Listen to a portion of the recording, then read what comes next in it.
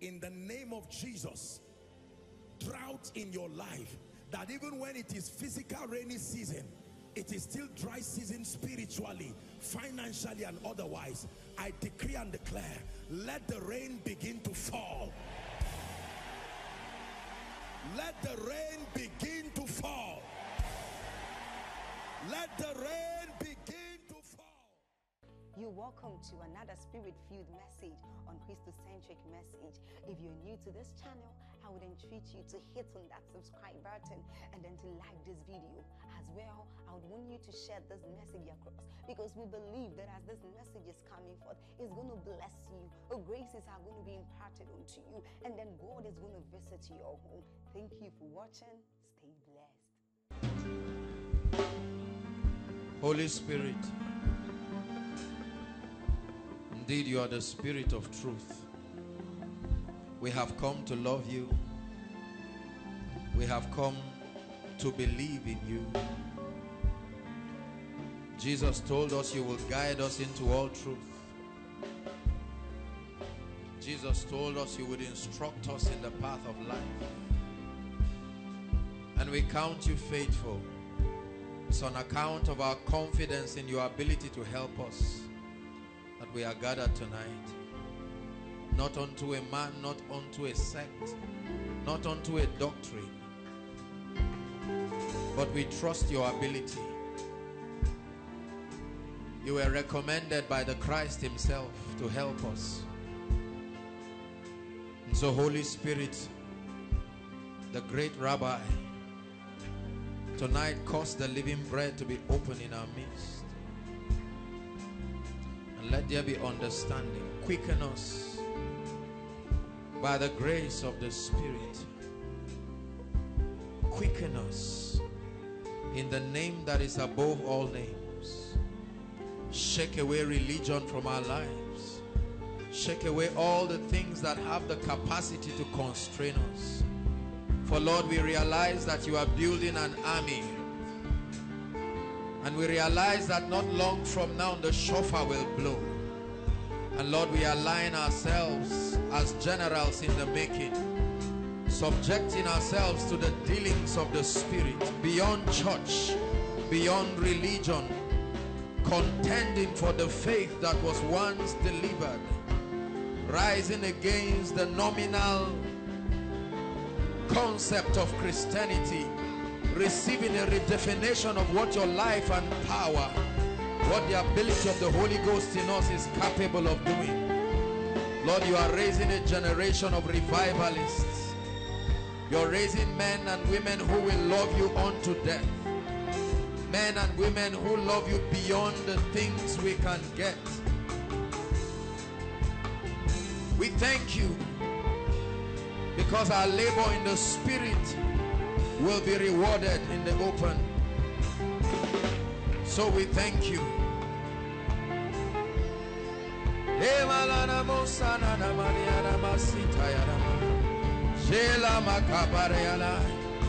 Thank you for your spirit lord. For the presence of the holy angels the saints in heaven. We're gathered around your throne.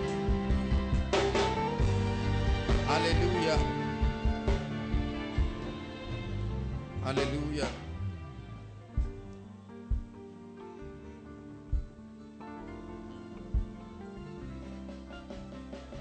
His presence is in this place to bless us, to help us, to take us to a plane in the spirit and to prepare us. This is what God is doing in the midst of his people.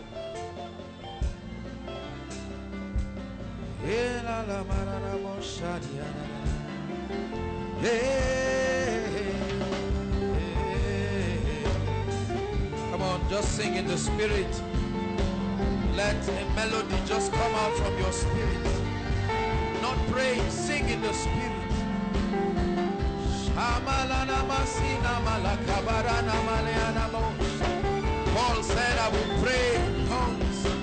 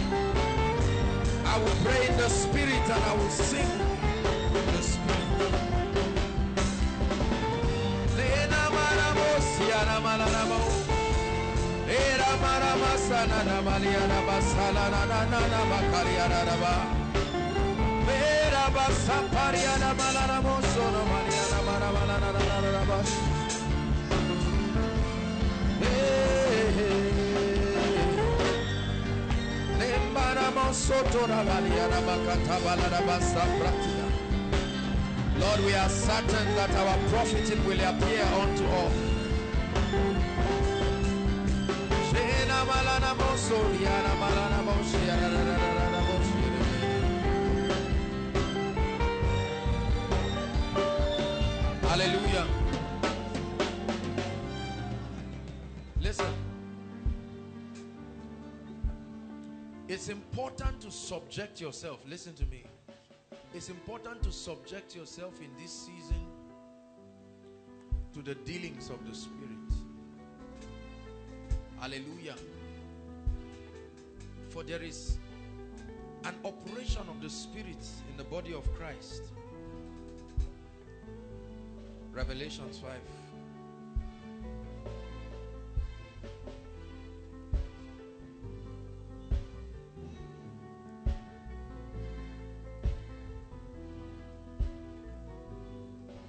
Listen to me. If at this point in your life you have not expressed dissatisfaction for religion and church, then there is a need to do an extra work in your life to catch up. Hallelujah. Because the Bible says the 20 and 4 elders, listen to me, that when they worshipped, they said, Holy, holy, holy is the Lord God who was, who is, and who is to come. These are dimensions of his operations that were revealed to the people. Hallelujah. And so we see a dimension of God who was. It's not a waste, but it's to tell you that God is progressive, so he will not end in the dimension who was. And then they see who is. Hallelujah. That which the Spirit is doing at the moment. And then by prophetic insight, we have a revelation of that dimension that is to come. And so it's important that as we stand and begin to relate with the things of the Spirit in this day and age, that we are able to understand the emphasis of the Spirit for every time. The Bible says, For the sons of Issachar, they had a comprehension of the times. Hallelujah. And the Bible says, among the organization of God's creation, he made stars.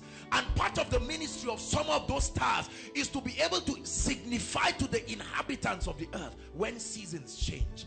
To the end that we can align with the operation of the Spirit. For even the past glory of God contains a measure of glory. The past revelation. But that it is not sufficient to take us to the next dimensions that the nations would require. And so it's important and it becomes a responsibility upon us as citizens of the kingdom to walk in pace with the Holy Ghost so that we are able to understand his operation. For it is an error to assume that God is doing the same thing at every season. Hallelujah. In the revelation I shared with us a few weeks ago. Hallelujah.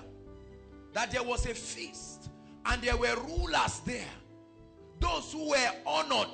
Jesus was in their midst, but they did not recognize him. The wedding in Cana, the first miracle of Jesus. A prophetic message to what the Holy Ghost is going to be doing. And the Bible says the old wine finished, but the festivity was still on. The rulers did not know because they had been used to deceiving the people and they had lost touch with the source of the wine. Are you following me now? And the Bible says the festivity was still on and there was a constraint happening. But the people could not understand because there was no insight. And the Bible says only the servants followed Mary, the mother of Jesus. And they said, Jesus, there is trouble. The revelation of John, which is sent to his servants. Oh, this is the mystery that in this generation only servants will ride on horses. The princes will receive an embarrassment because they will walk afoot. Hallelujah. So the Bible says the servants came to Jesus.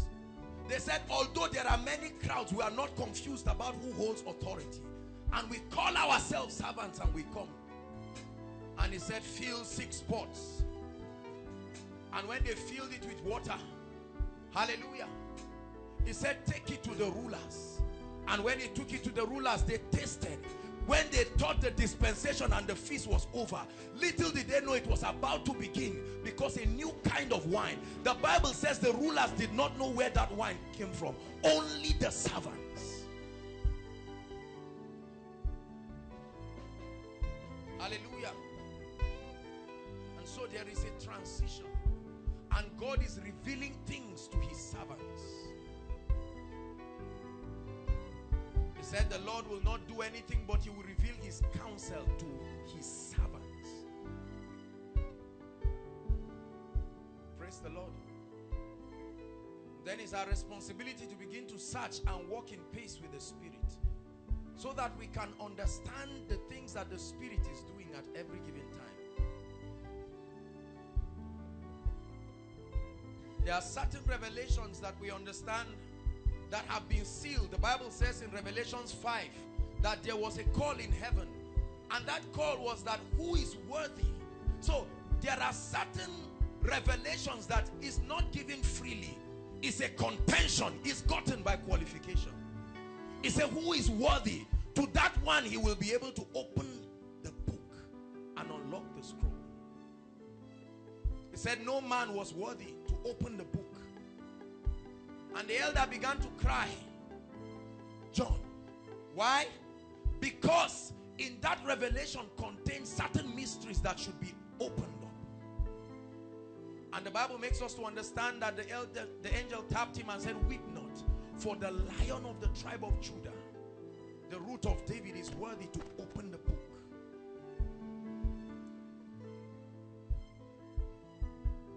Hallelujah. It's important to be in pace with what the Spirit of God is doing. And this is our desire in this place. The Bible says in the days of Samuel, when the word of the Lord was cast, it didn't say men stop going to the temple, but he said the word of God was cast. Praise the Lord. So tonight, let it be that you didn't just come to do church as usual. Let it be that you came because you understand that receiving from God will position you to understand what he's doing in the spirit. And by alignment, you become a benefactor and you become usable. It's not enough to be available. You must be usable. Hallelujah. And only the Holy Spirit is able to help us into this truth. And so, Lord, we thank you. Because you will bless us tonight. Lord, do not leave us behind. Let us follow up in pace with the things the Spirit is doing. In the name of the Lord Jesus.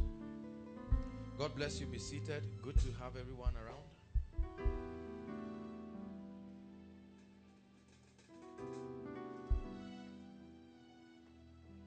Hallelujah.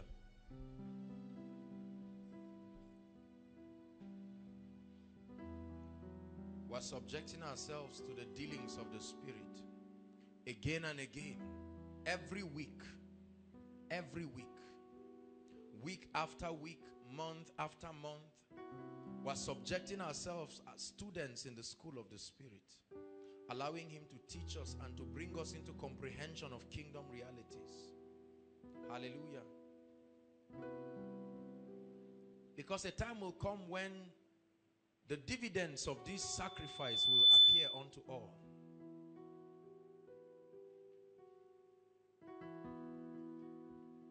And we want to position ourselves. We are not careful to admit that not everybody is open to the things of the Spirit, especially in this day and age where there are all kinds of Christian distractions. Hallelujah. The Church of Christ has become a place where ethics of religion are taken as usual. But the presence of Christ and his body ought to be a place of freshness where we can communicate to the world what the Spirit of God is doing at every given time. Mm. Hallelujah.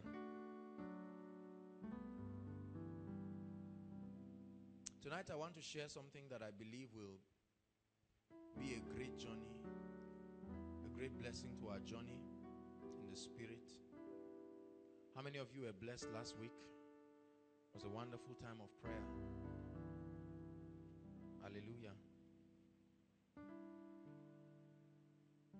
If the things of the spirit are still a burden to you, then there is need to retreat in the presence of God. Hallelujah. There are lots of believers who have a problem with the things of God. And I hope we do not have those kinds of people here. Let me tell you something. Um, whenever you come for koinonia, make sure that you're not just coming to fulfill a ritual. Are you listening to me, please? Ensure that you're not just coming to watch other people or to see what are the other things. You must come with a predetermination and say, Lord, what do you have for me that can help me in this journey? We are in a journey. I'm so happy every Friday when I have the opportunity to share God's word because I understand that there is at least somebody who is interested in the things of the Spirit. And if God can find such a man, he can produce a wonder out of him. Praise the Lord. First Peter 2. Say after me, God is preparing an army. Say it like you believe it. God is preparing an army. Ask your neighbor, are you part of this army? Tell your neighbor, don't tell lies.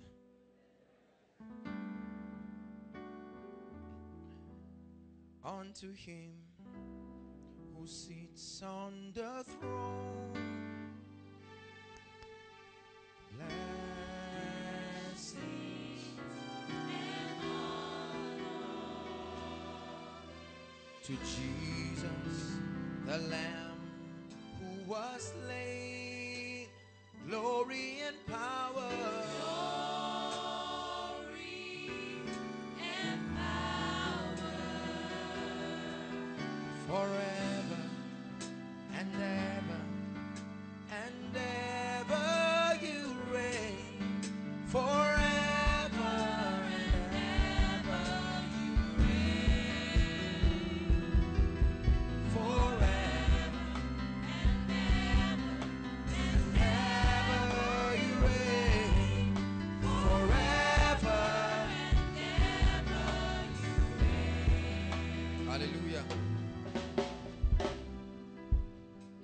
First Peter 2 verse 9. First Peter 2 verse 9. Hmm. But ye are a chosen generation, a royal priesthood. It never said you are members of Living Faith or Christ Embassy or Deeper Life or Redeemed those are structures. You get my point? But I'm saying beyond the structures, you must look. It says, Ye are a chosen generation, a royal priesthood, and holy nation, a people of his own, that you should show forth the praises of him who has called you out of darkness into his marvelous light.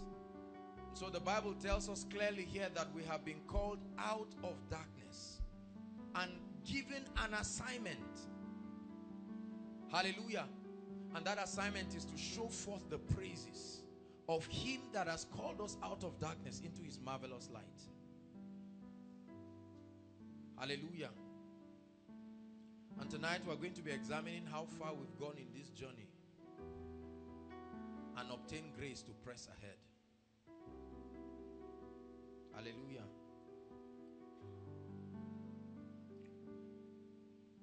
The children of Issachar, the Bible says, had an understanding of the times. And as a result, they knew what to do.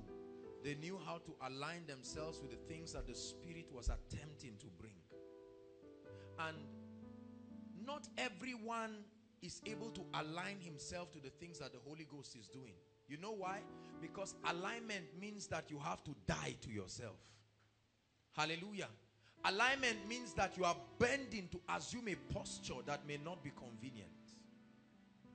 And so it takes a revelation bigger than yourself and your personal comforts to say, Lord, regardless of how this will affect me, I am prepared to come into alignment with your divine will to the end that your plans and purposes be achieved at every given time.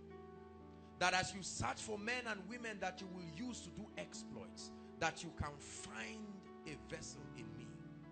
The Bible says, but in a great house there are not only vessels of wood or gold and silver, but of wood and of clay. He says, some are unto dishonor and some are unto honor. He says, if a man will purge himself, that man will become a vessel unto honor, fit for the master's use. Say after me once again, God is raising an army. And say, I am part of that army. I am part of that army. Led by the Spirit. Hallelujah. Joel chapter 2. We'll just establish a few things and then we'll pray.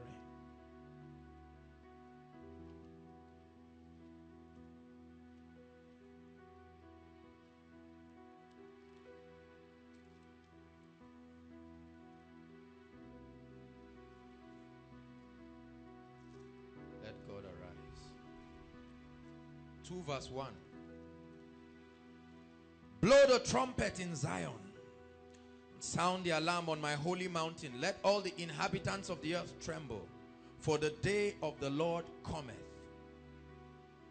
For it is near at hand, a day of darkness and of gloominess. A day of clouds and of thick darkness, like the morning spread upon the mountains.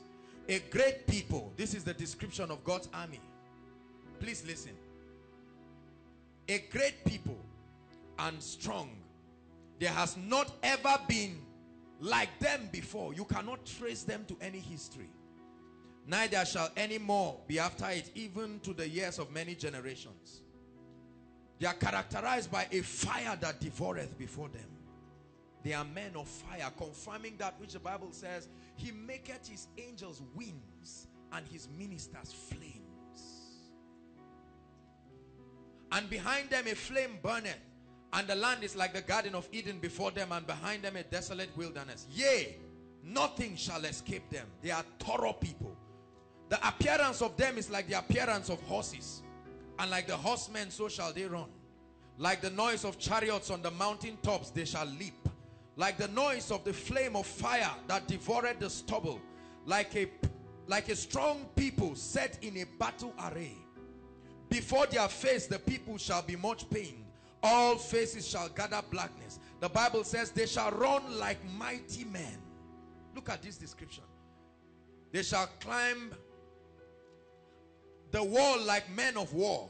They shall march everyone on his ways and they shall not break their ranks. No competition no dabbling into unnecessary things. Everyone maintaining focus.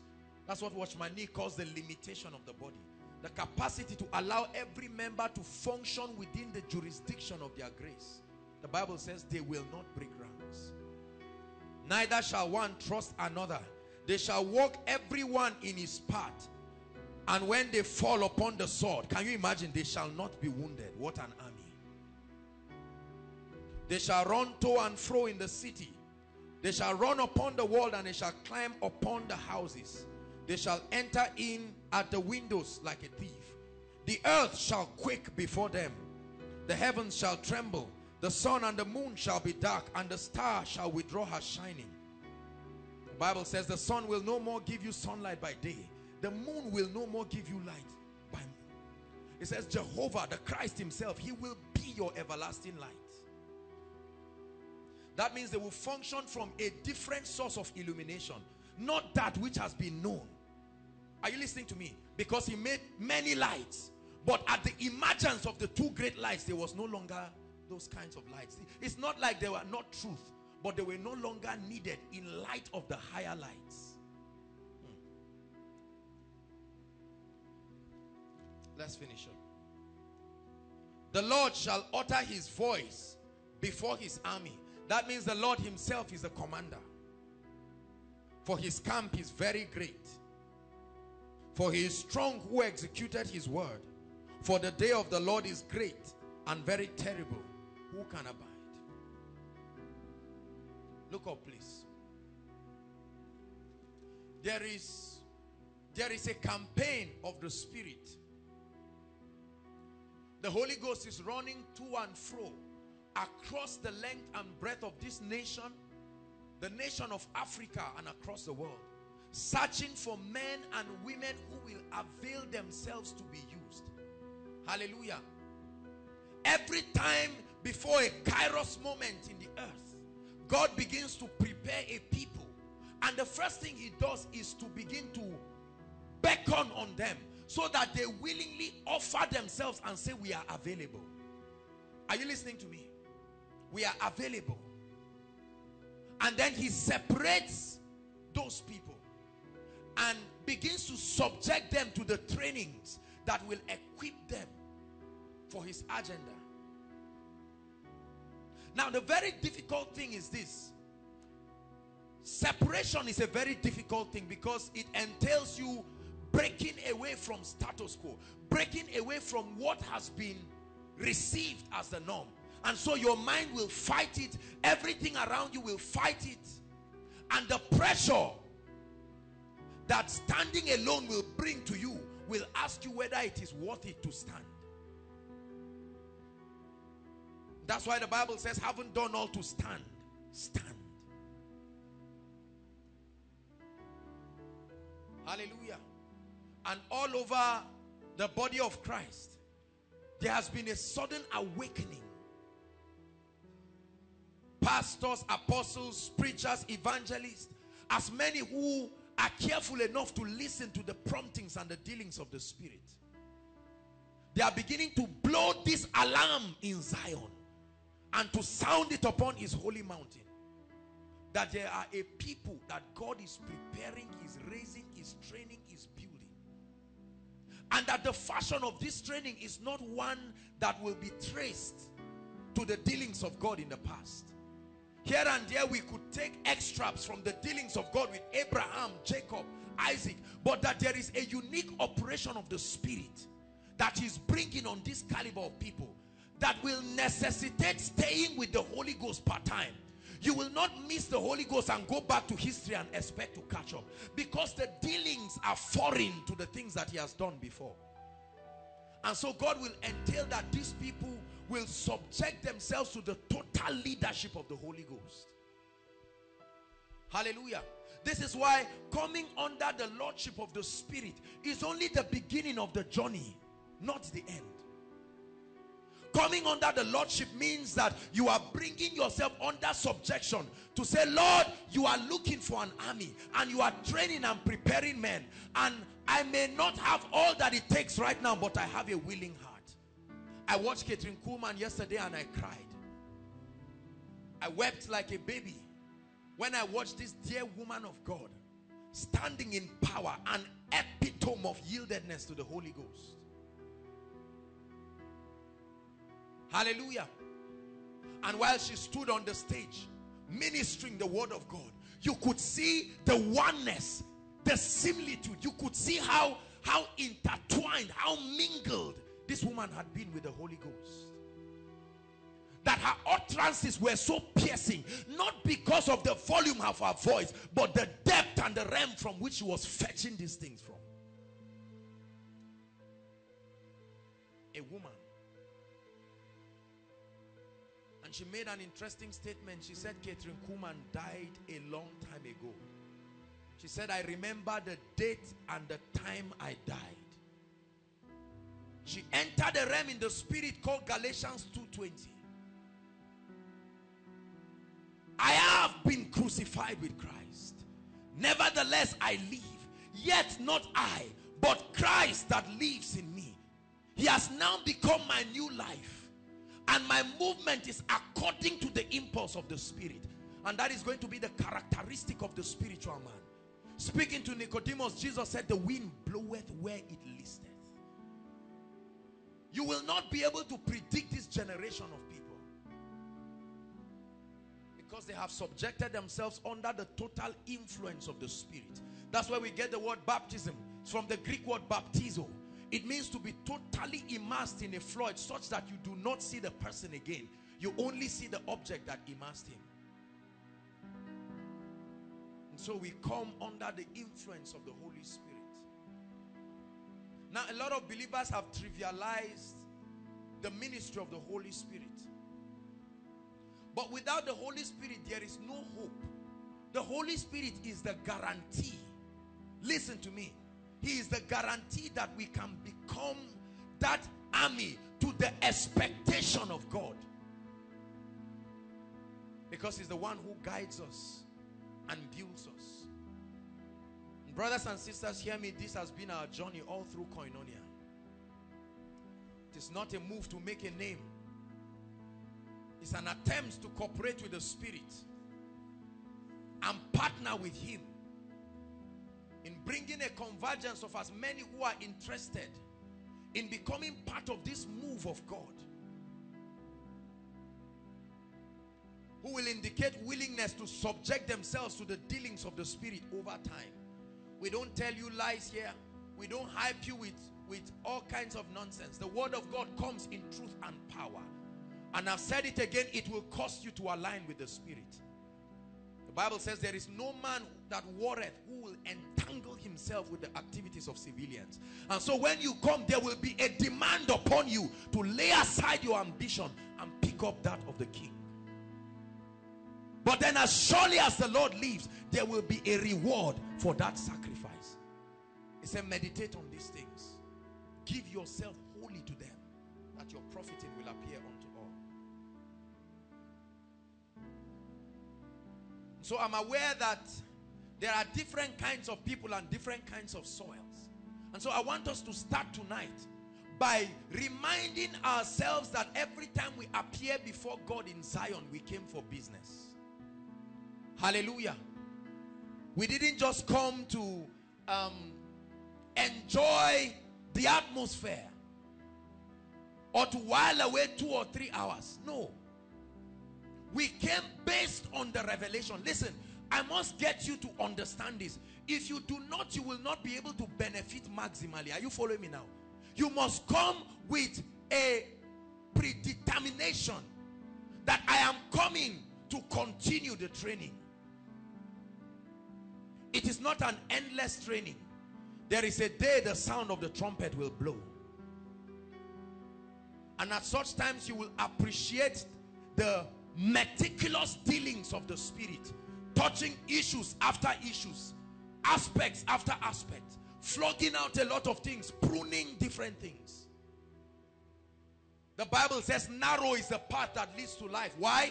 Because when you are entering that path, Jesus gave us a similitude of that revelation using the eye of the needle. It will, it will entail you divorcing yourself with a lot of things and going alone. So the path is narrow. In other words, the things that can pass have been predetermined. You will not come with excess luggages and mindsets. But wide is the way that leads to destruction. And Jesus said, because the rich people have a lot of things, he said they may not be able to pass. Are you following me? And so you come with your ambitions and different things. And then some of us may come just to use Jesus Christ as an errand boy as usual. Because that's the move that has been taught in the body of Christ. And so we have a need-driven congregation who only come to God as a means to an end and that end is to satisfy their belly and to bring themselves in a position where they are comforted. Rulers in the feast while the Lord of the harvest is in the congregation. He's not honored and he's not esteemed. But the Bible tells us in heaven that there will be a supper. And in that supper the one who should be the head will actually be the head. Are you following me tonight And so the first challenge that the Holy Ghost places before us tonight is to ask you, how serious are you? How much are you convicted? What is your passion about the things of God and about this army that God is mobilizing? What is your concept of Christianity and church and religion? Why do you pursue God? He said, why do you call me Lord? And then I noticed that there is only a receiving from you. There is no doing.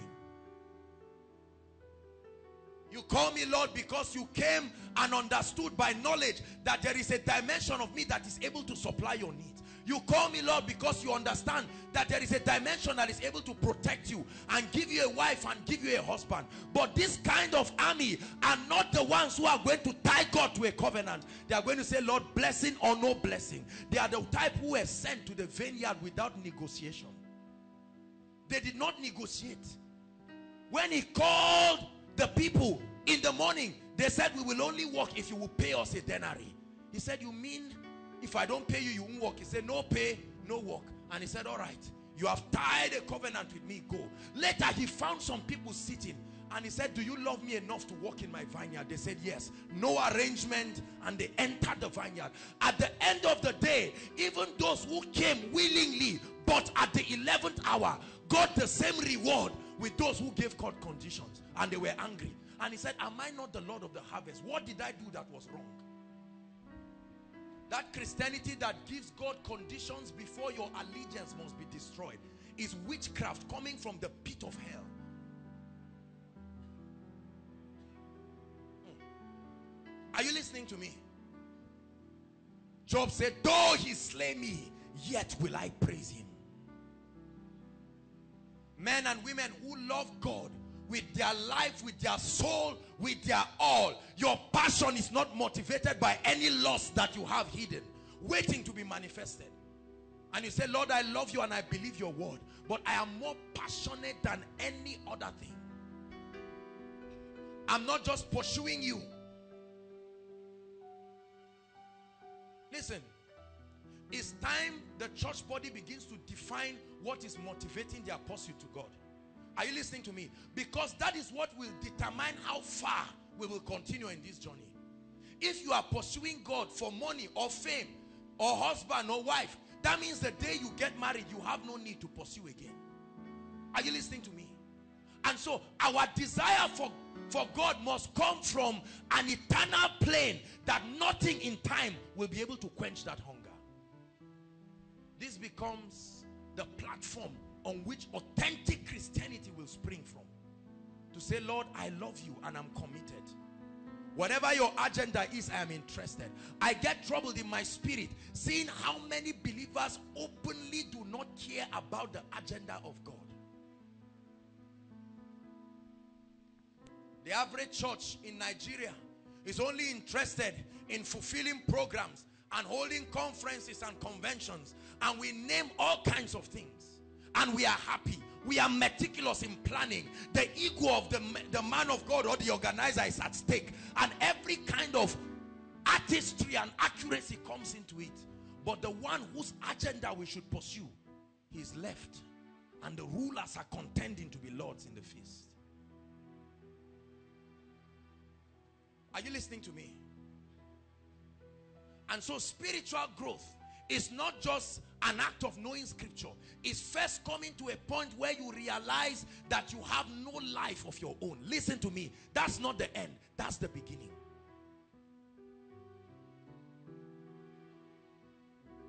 This is the reason why a spiritual man is he works so much in the presence of God.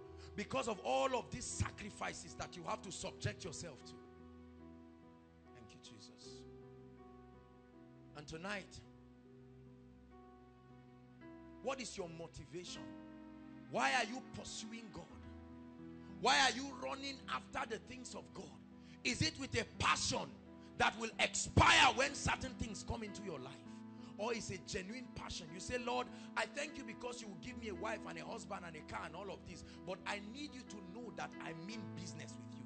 Are you just pursuing God because you are a student? And then you need him so that you can use him as a ladder towards academic success. And the day you cry and you graduate, you just wave him and say, Lord, there are many others who didn't backslide like me, so you can concentrate on them.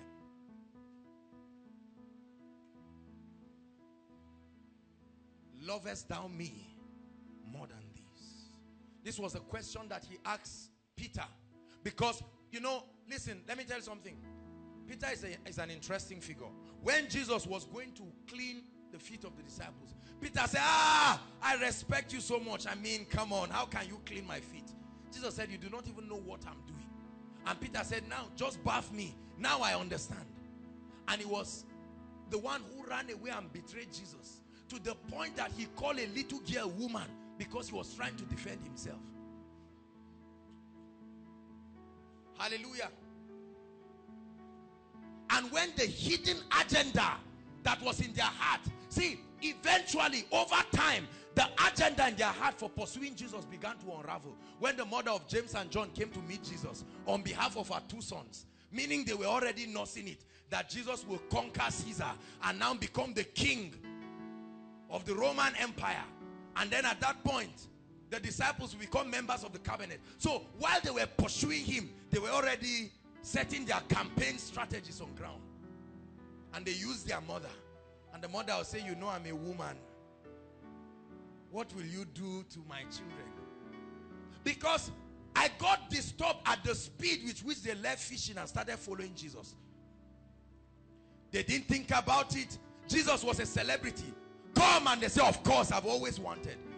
And then later on, when they found out that this journey was getting too long, they started asking questions. First among themselves. This is why you see a preacher 10 years. Diligence in, in God. And then after a while, he just says, Lord, at least heaven knows I've tried. Because the motif that was behind the establishment of that ministry is beginning to be revealed. Hallelujah. Are you following me tonight? The light of God is searching our hearts to help us. This is how we grow in the spirit.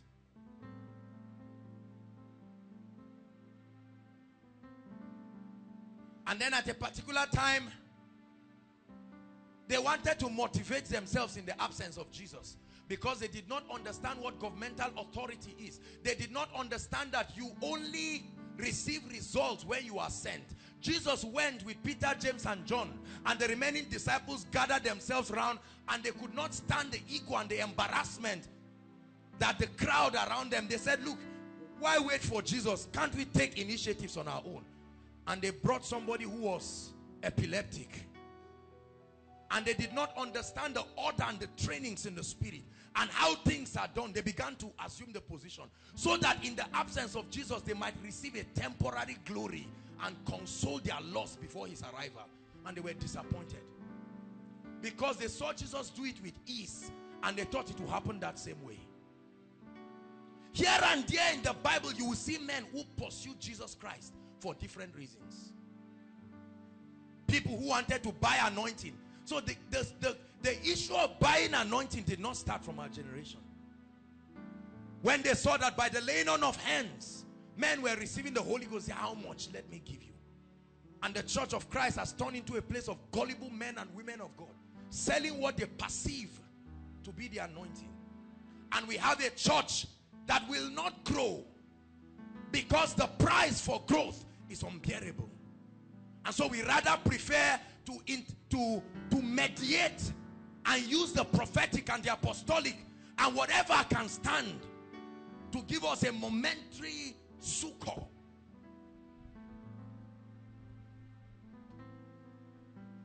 So if I need to find out whether it's the will of God for the job or not, I know that if I'm to follow the regular part of the spirit, I may need to wait upon the Lord in praying and fasting for three days. And I say, why waste my time? When there is a donkey called a prophet and an apostle that we can ride gloriously on. And so we have a result-oriented church. Man of God, tell me what will become of my life. And we do not know him. And we are not even interested in the agenda of God. And let me tell you, friends, if God does not raise carpenters to judge the manifestation of these horns that rise up against Judah, I tell you, there will be casualty in our generation. A time will come when the new age will wipe Christianity if we do not stand. And this is why God is creating platforms like this across the nations, the remnant, who will stand and say, no, this is not the pattern of the spirit. Are you listening to me? It cannot be church as usual. The average Christian is taught, know nothing about Jesus. Do you know, I asked somebody one day, I said, who is Jesus? Born again, spirit filled. I said, who is Jesus? And he was shocked to find out that he did not even know what to tell me about Jesus. He just said he's the savior of the world. Let me ask you, who is Jesus? No, no, no. Don't give me a, a guesswork or what you got from your Bible. Who is Jesus? Do you know him? If you don't stop telling lies on stage that he's your friend. Because the way we talk about him is as though we drank tea with him. But then you ask him, who is Jesus? Who is the Holy Ghost? Amazing that the church does not even know the Holy Ghost. Scholars know more about the Holy Ghost than the church. They have researched as critics and come up with facts that the church is not even aware. We are not interested. The message about Jesus and the Holy Ghost and the kingdom and the life of God, the priority and the agenda of the Father that should be the pivot of the operation of every church is absent. And we have replaced it with all kinds of activities. Making money, promoting people. And you see people trying to be zealous in church. And all they are looking for is the name deacon or pastor. And that becomes our ultimate satisfaction. There needs to be a redefinition of what has been motivating us in our pursuit for God. No wonder at every challenge, many believers stand and give up. But the Bible says, if your strength fails you in the day of battle, that means you did not gather strength. Hallelujah. If I were the pastor of many churches, after this service, they'll, they'll have a board meeting about me. They say, we don't like this kind of thing. You don't come and spoil our minds. Read about Jesus Christ. Elijah was called a troublemaker in Israel.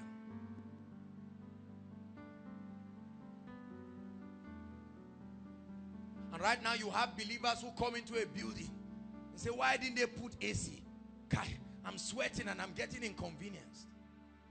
But students can stand to collect scholarship in front of guidance and counseling in the hot sun 5,000 10,000 15,000 you are determined to get it no matter what happens you stand on that line. You maintain your position. They want to push you you say i'm not going anywhere. They say you're a lady. You say i know. I will show you i'm a lady on jeans we we we so we have that spirit of determination. But when it comes to the things of the spirit you hold a service. After one hour 30 minutes everybody's looking at their watch. And it's not like they have what, something to do afterwards because immediately after the meeting, you see them greeting one another for hours. So why the hurry?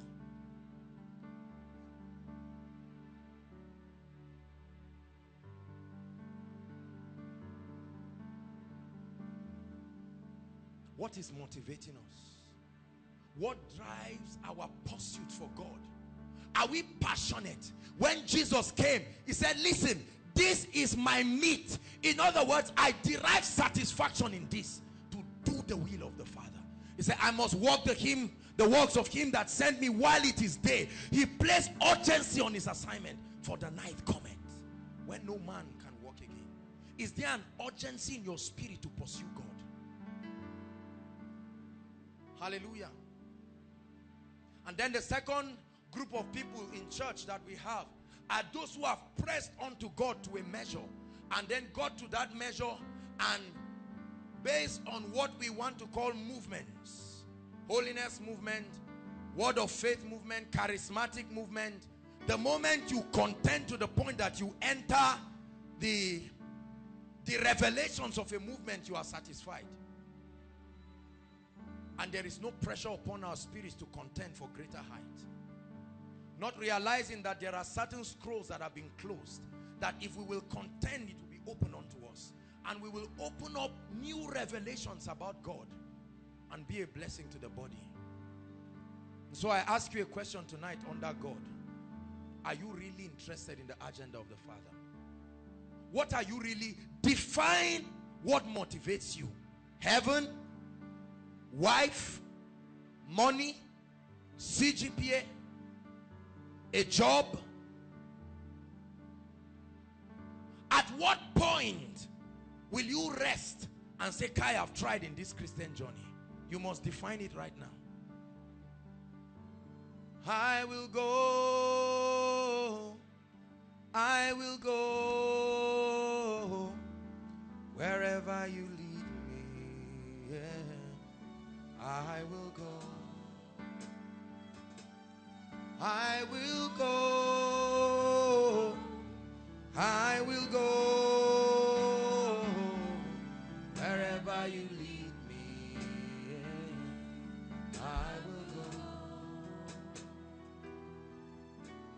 Can that be the anthem of your life? That when people ask you and say, What is your plan and goal in life? You will first tell them that all that I'm about to tell you is a derivative of what God has committed unto me. I did not sit down and cook up any ambition for myself because I am bound by an oath to my Savior that I will stand and live for him. I have brought myself willingly under the government and the sovereign rule of the king and I will not compromise. Before I continue, we're going to pray for five minutes. And that prayer, listen to me, please. Don't bow your head. We are not bowing heads here. We are going to pray audibly. Hallelujah. And the prayer is going to say, Lord, I lay down my idols and thrones I have made and all that has taken my heart. You will hear us preach this again and again.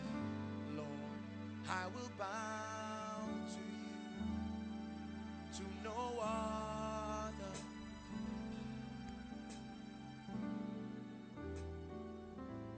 We're going to repent before we continue in this service. The first repentance is to say, Lord, I'm ashamed to find out that there has been a hidden loss that has been motivating my pursuit for you. But tonight I repent. Are you listening to me? You're going to pray because you know I'm not lying. I pray this to God every time. I say, Lord, if there is any other reason aside from my love for you, why I pursue you, judge it, prune it, and bring me to a point where I become a dead man without you. Is that your prayer? We're going to pray. Lift up your voice and pray. Say, Lord, I lay down idols. I cannot deny that I have needs. But Lord, I have let these needs to motivate my love for you. Come on, pray.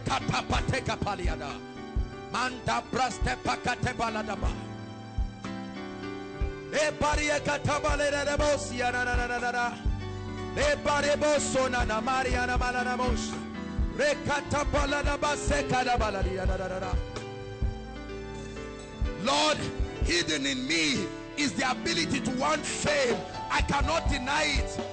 And while it is not bad, I have allowed it to motivate my pursuit. Lord, I've been crying for spiritual gifts because I don't want to. I've suffered inferiority complex. And so I'm looking for what will ease it away. And unfortunately, I allowed it to slip and become my motivation for you. Lift your voice and pray. Kata kata palada bakaya. Lebro sote bererebosa. Kabate krosto bende kete baladaba. Rapakasto prosko bende ketai. Pray. Say, Lord, I came here with a need. But Lord, in the light of your word, if I will be honest with myself, I'm just pursuing you. The hunger increased simply because I needed a solution. Not because I loved you. Not because I was passionate about your agenda. Make sure you are praying. Make sure you are praying. Make sure you are praying. I have made you too small in my eyes. We're still praying. Oh Lord, forgive me. And I have believed in a lie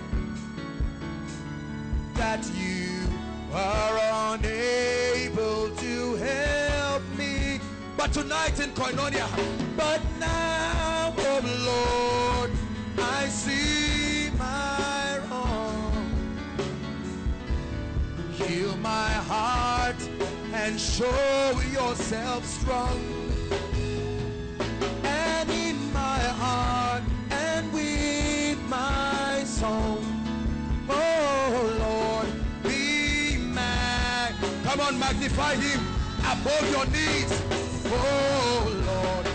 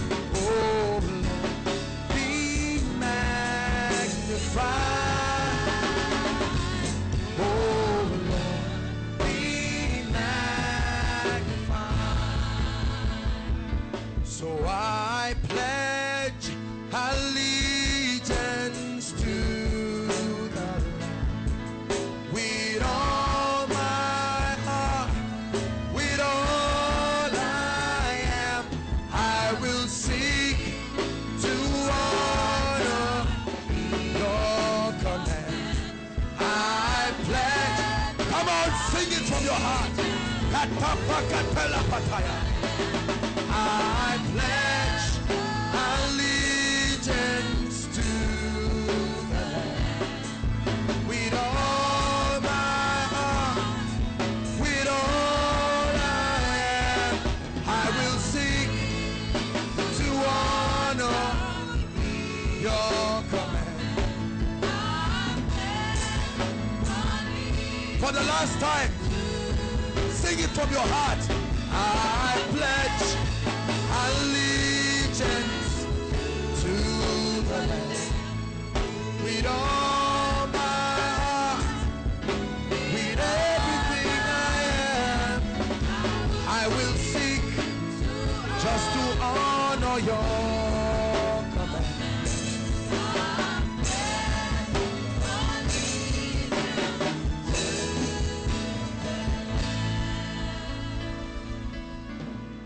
Passion for God will tell in your desire for evangelism. Your passion for God will tell in how much you give to the house of God. Your desire will tell how much you pray for the house of God. Your desire will tell in how much you love the word of God, how much you love his spirit. We're still praying five minutes. Say, Lord, search my heart. I'm not pretending tonight. I cannot lie. There are idols in my heart. I'm a Christian. I'm born again. I'm filled with the Holy Ghost. But Lord, if you do not give me certain things after some time, I may begin to reconsider my passion. Help me tonight. I came to Koinonia for my passion to be renewed. Help me. I want to grow. Help me.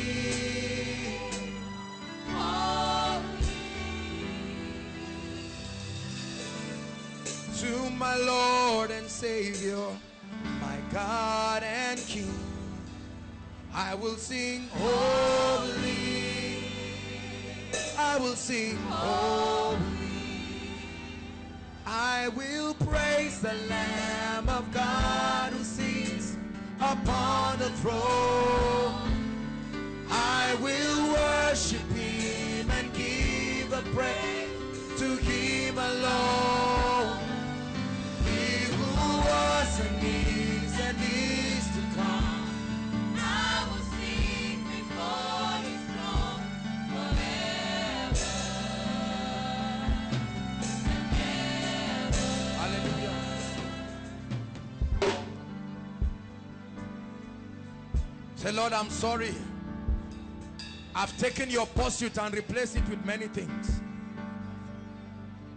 Say, Lord, I didn't even know when certain desires overtook a genuine passion. I was so distracted by the burdens upon me that I did not realize that I had missed out on a genuine passion. Genuine passion.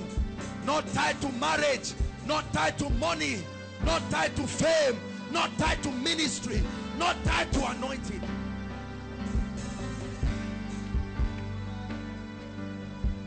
I have been crucified with Christ. I have been crucified with Christ. Nevertheless, I live. Yet not I, but Christ. Christ. Christ in me. Christ above me. Christ before me. Christ by my side. My motivation. The beginning. The end.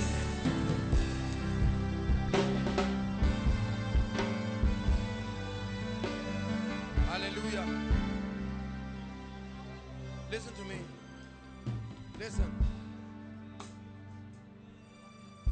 God is re-examining the foundations from which our pursuit for Christ is hinged on. Because the Bible says if the foundation, it says if the foundation be destroyed. Are you listening to me? We're still praying. I've not finished the teaching. But I just sense in my spirit to sing one more song. It's all about you. It's all about you. If you don't believe it, don't sing it yet. Keep quiet. Keep quiet. When you get the revelation, you can join. But for as many who mean it, it's all about you. It's all about you. It's all about you. Jesus. Hey. It's all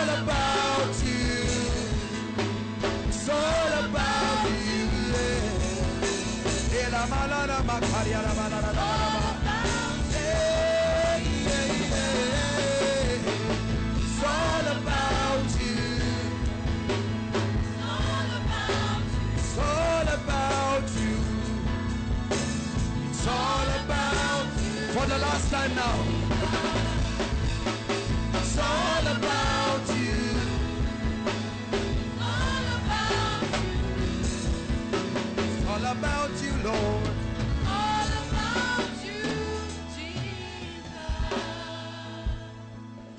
Realize what, listen, listen, from this light of God, you will realize why you are not proud of standing for Jesus in the presence of your friends. It's because you are not yet convinced. That's why you cannot share Jesus with others. You are afraid of the embarrassment. You are conscious of your beauty. That's an idol. You are conscious of it. Lest it will kill an opportunity to be in a relationship. You cannot share Christ with your business partner, with your lecturer.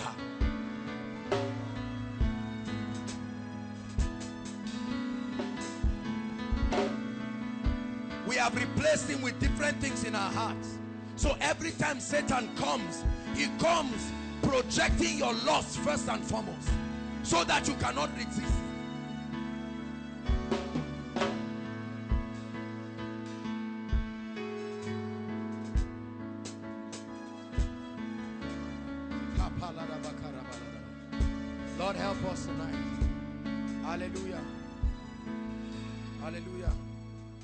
That's why you are here. Please be seated and let's continue.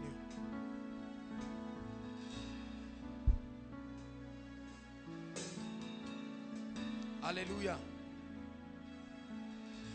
The Bible makes us to understand that before the day of the Lord, listen to me, the spirit of Elijah, Malachi 4, before the spirit, before the day of the Lord, the spirit of Elijah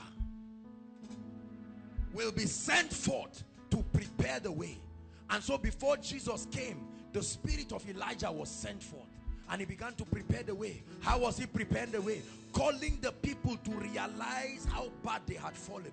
Not because he could redeem them. Baptism at that time was not a sign of new birth. It was an indication that they would be interested in what Jesus was coming to offer. So as many who were convicted by his teaching prepared their hearts so that when the Messiah showed up, they would not resist him.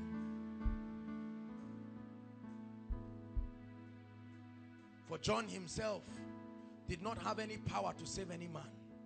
But he said, I am the voice of one crying in the wilderness. He was an echo. And right now that same spirit of Elijah has been released upon the body of Christ. To expose the works of iniquity and to bring the sons of God into righteousness.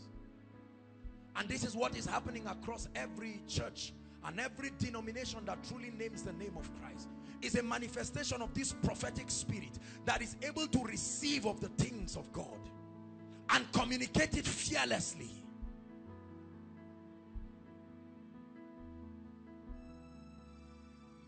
This is how your Christianity will last.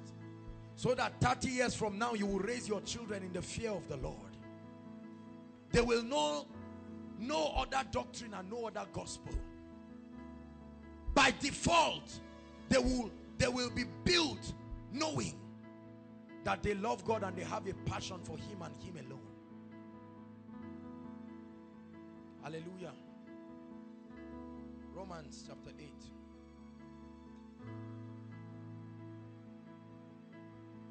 when the Holy Ghost brings you to this position the next thing that happens is he begins to subject you through different dealings and trainings. Please listen this is important. This is the principle the way God prepares his army. And the way hallelujah.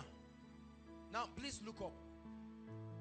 One is not a tragedy but if we don't do anything about it it will become an old wine hallelujah there was a time in the body of Christ when our pursuit was for Rhema. praise God please listen to me Rhema. And the quality of your ministry was proportional to the depth of Rhema. Insight into scripture. Hallelujah.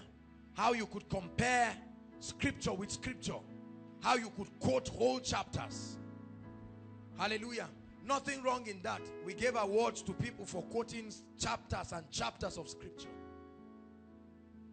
But I needed to know that in the progression of the dealings of God, listen, the Holy Ghost begins by exposing you to the knowledge of God.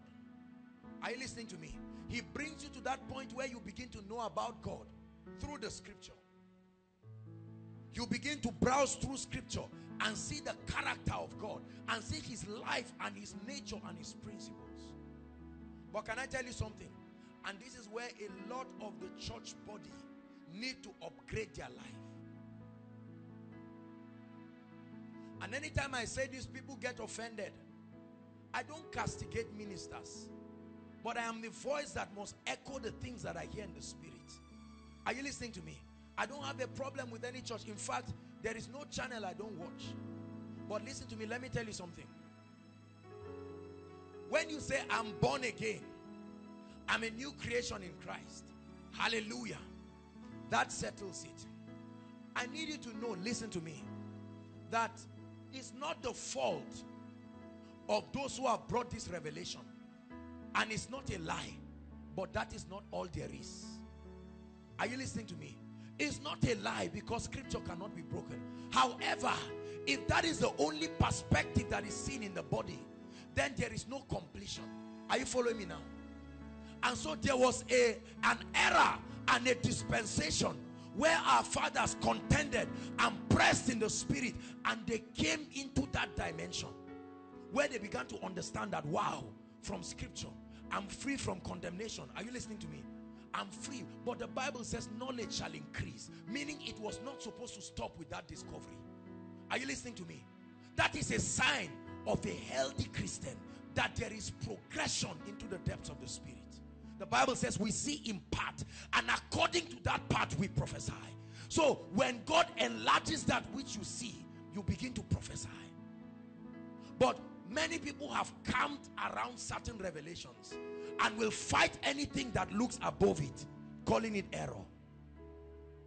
Are you listening to me?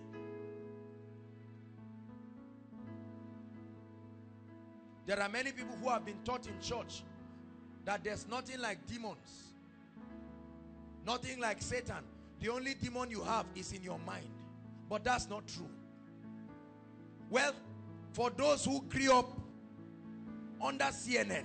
But for those who, my father's mother was a traditionalist. Are you listening to me? So, I'm not trying to guess that Satan exists. It's one thing to believe he exists. It's another thing to believe he has power over you. That is where it's faulty. Are you listening to me? But for you to just kick away and say, forget it, there's no demon anywhere. Ha, be careful. Because many of the people who are speaking will later on find out the reason why they are stunted in their life and will not make advancement. A number of them have discovered it, but their arrogance will not allow them to admit that they have seen a greater light. And so they would rather prefer to camp in what they believe to be the final revelation of the dimension of God that is given to man. When you read a lot of Kenneth Hagin's books, there are many things written in that book that you might not totally agree with right now. Is that correct?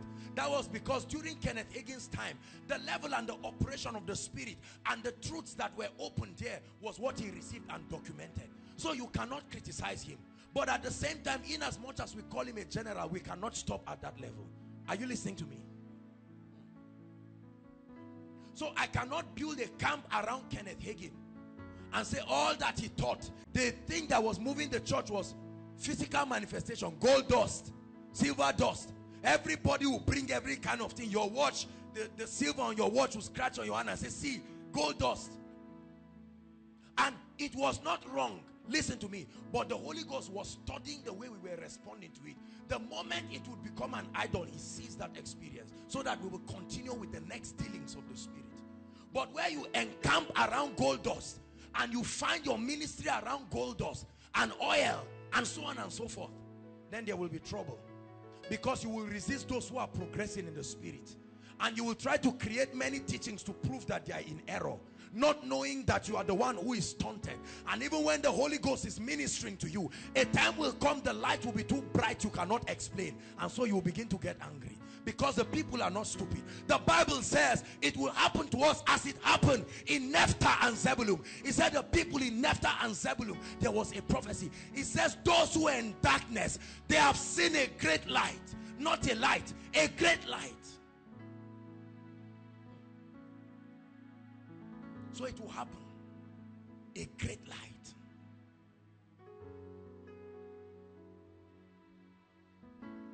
One characteristic of a healthy church is the ability to transit with the spirit.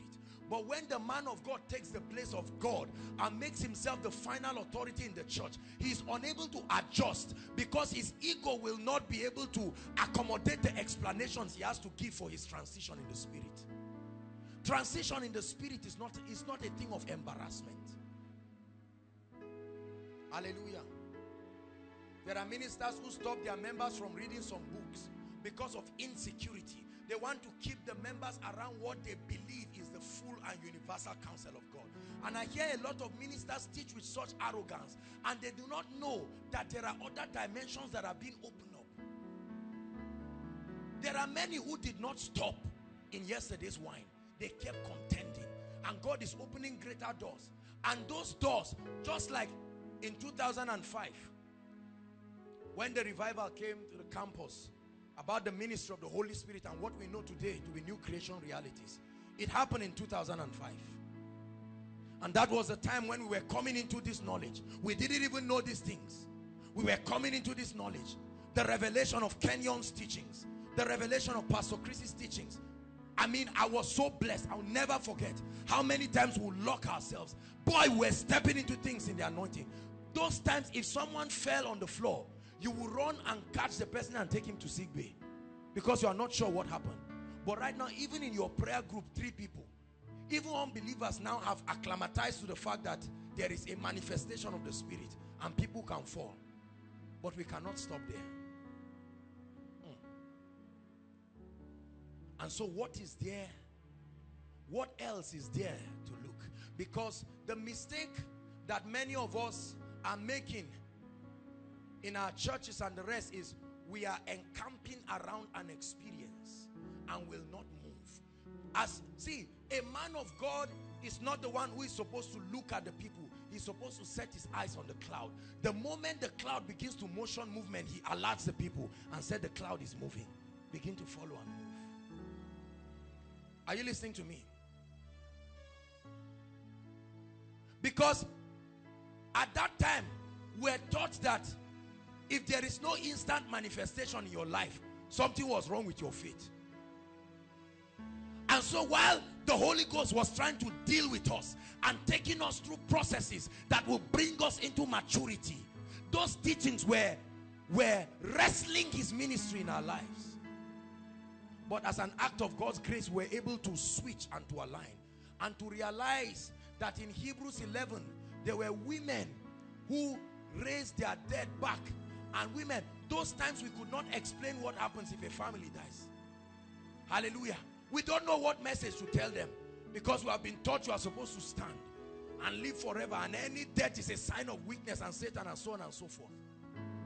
But that was good to a measure, but it is not applicable today. There must need to be a growth.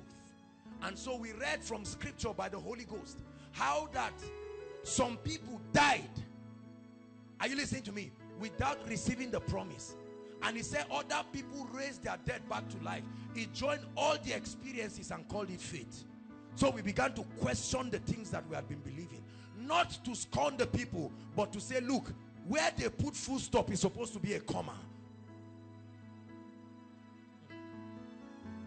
There are many of you, there are experiences God is giving you. You have not found the confirmation yet. Ah, I hope we have time. Wherever we can stop today. And every time you go to your pastor, they tell you, no, this kind of thing, we, we don't like it. You see that? It is a new operation.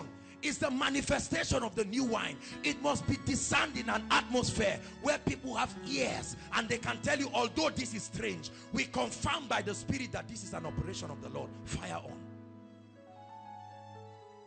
Many of you have stunted your spiritual growth because of different messages you have heard. For instance, I know people who say, just pray for five minutes and pray for 10 minutes. You are a king. Speak it once. Brother, let me tell you the truth. If that is how you want to raise your Christianity, there will be a bitter casualty that will teach you a lesson that may take decades for you to recover from. Because the Bible gives us the character of a man of prayer. He said Elijah was a man of like passion. He said he prayed earnestly. Are you listening to me? So there is nothing wrong in receiving the teachings that you have. But I'm only saying we salute the generals. I respect every man of God. I mention them by name. They have been impacts to our lives. Until today, we still listen to them. Forever, they remain generals. They have entered the hallmark of grace. However, there is a fresh mandate upon our generation. Are you listening to me? And according to the measure of grace that is coming upon us, we cannot use the new discoveries we are having to mock them, for that will be immaturity. But at the same time, we will not refuse to progress because we want to pay our homage and allegiance to their doctrines. Are you growing tonight? Because if I don't balance this, many of you will now stand and watch some of our fathers and hear their revelation like I see a lot of people do and they just laugh. They say, I've left this realm.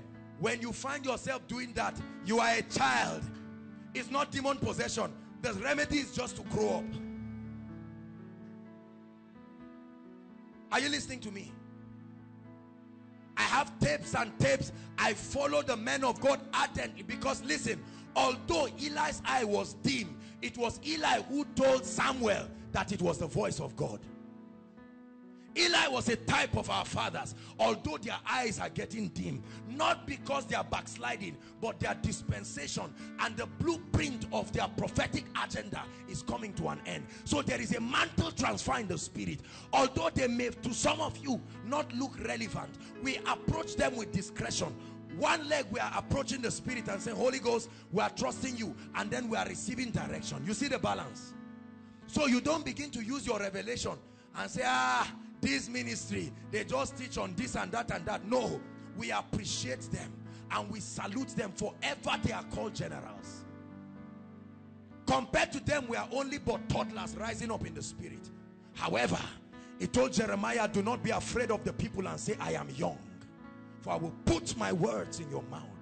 He said, go and speak. So there is an emergence of people we will be persecuted because of our age and because we are not conforming to the mold of religion. Howbeit there is a new wine and the one who sent us will stand to defend us? This is why you will see a lot of young people doing supernatural things for God. But then if we are careful and we are trained enough we will realize that in the midst of all of these things we ought to give God glory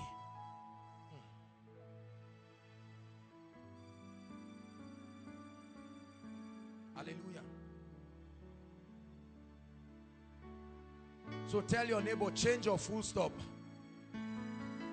to a comma. Say it one more time, change your full stop to a comma. Do not reject the operations of the Spirit. Open up yourself. Please, don't be caught up in that thing. My church, my pastor, this is what we believe. God is leading you to a book in the bookstore. It may be by an author you don't like. There's nobody I don't watch. Let your mind grow while nobody. If I cannot learn anything, at least I can learn diligence in ministry. So you must maintain a posture. Are you listening to me?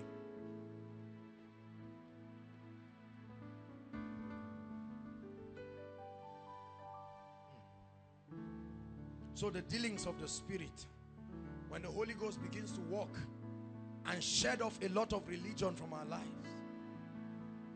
Follow me to Romans, please. Let's see how far we can get and then we'll pray. Blessed be the name of the Lord. Can we pray in tongues for two minutes? Just seated. Go ahead and pray in tongues.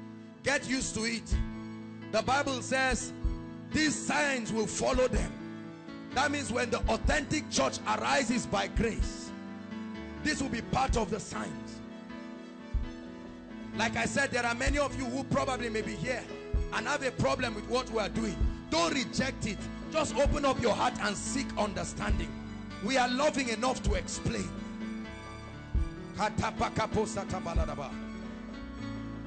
Ram preste pakoto jopeke de baladaba. Lembreste capariata carias toprondo koshubresta. Barike te prosco boja banka tamalara. Rabakata praste pateke de bosh. Raboso topondo koproske pai. Akria katebala de bosh shaprosa. Rapatekete. Lembratikata. Lord, let me grow. Lord, let me grow. Lord, let me grow. In the name of Jesus, I refuse to lag behind.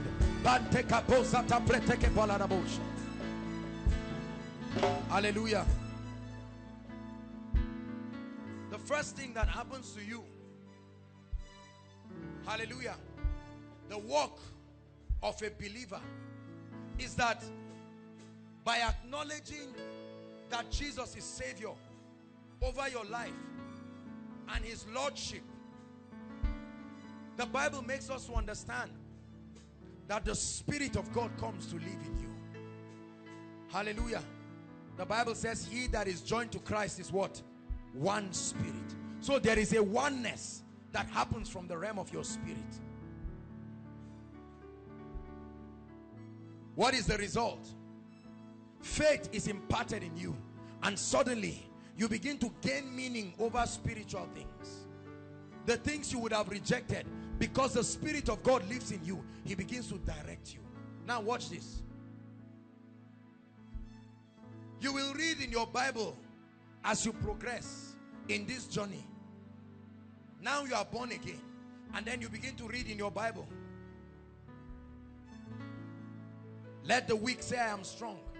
Let the poor say I am rich. Wonderful. Then you find another one. You have been anointed to heal the sick, to cast out devils. Wonderful. You keep noting the scripture. Hallelujah. By the time you have 30 or 40 beautiful scriptures, now you will, uh, you will rise up based on the confidence of those scriptures. God will not fail. Hallelujah. Then your first attempt on a man on a wheelchair, he doesn't stand. And then a question begins to brew in your heart. What happened? Hallelujah. And then you saw that you are the head and not the tail. Then your result came out and you saw a carryover. And he said, well, uh, uh, God is just something is there. You just leave the question mark there. And then some of us go to our men of God and say, please, what meaneth these things? I'm not getting it. The things I see in scripture and the manifestation in my life is creating a contrast. And most of us, men of God, all we tell God's innocent people because that is the limitation of the perspective that we see. You don't have faith. It's not enough. Stir up your faith. If his faith, he should walk. Now the people stare. How do I stare? And they get books and they keep reading.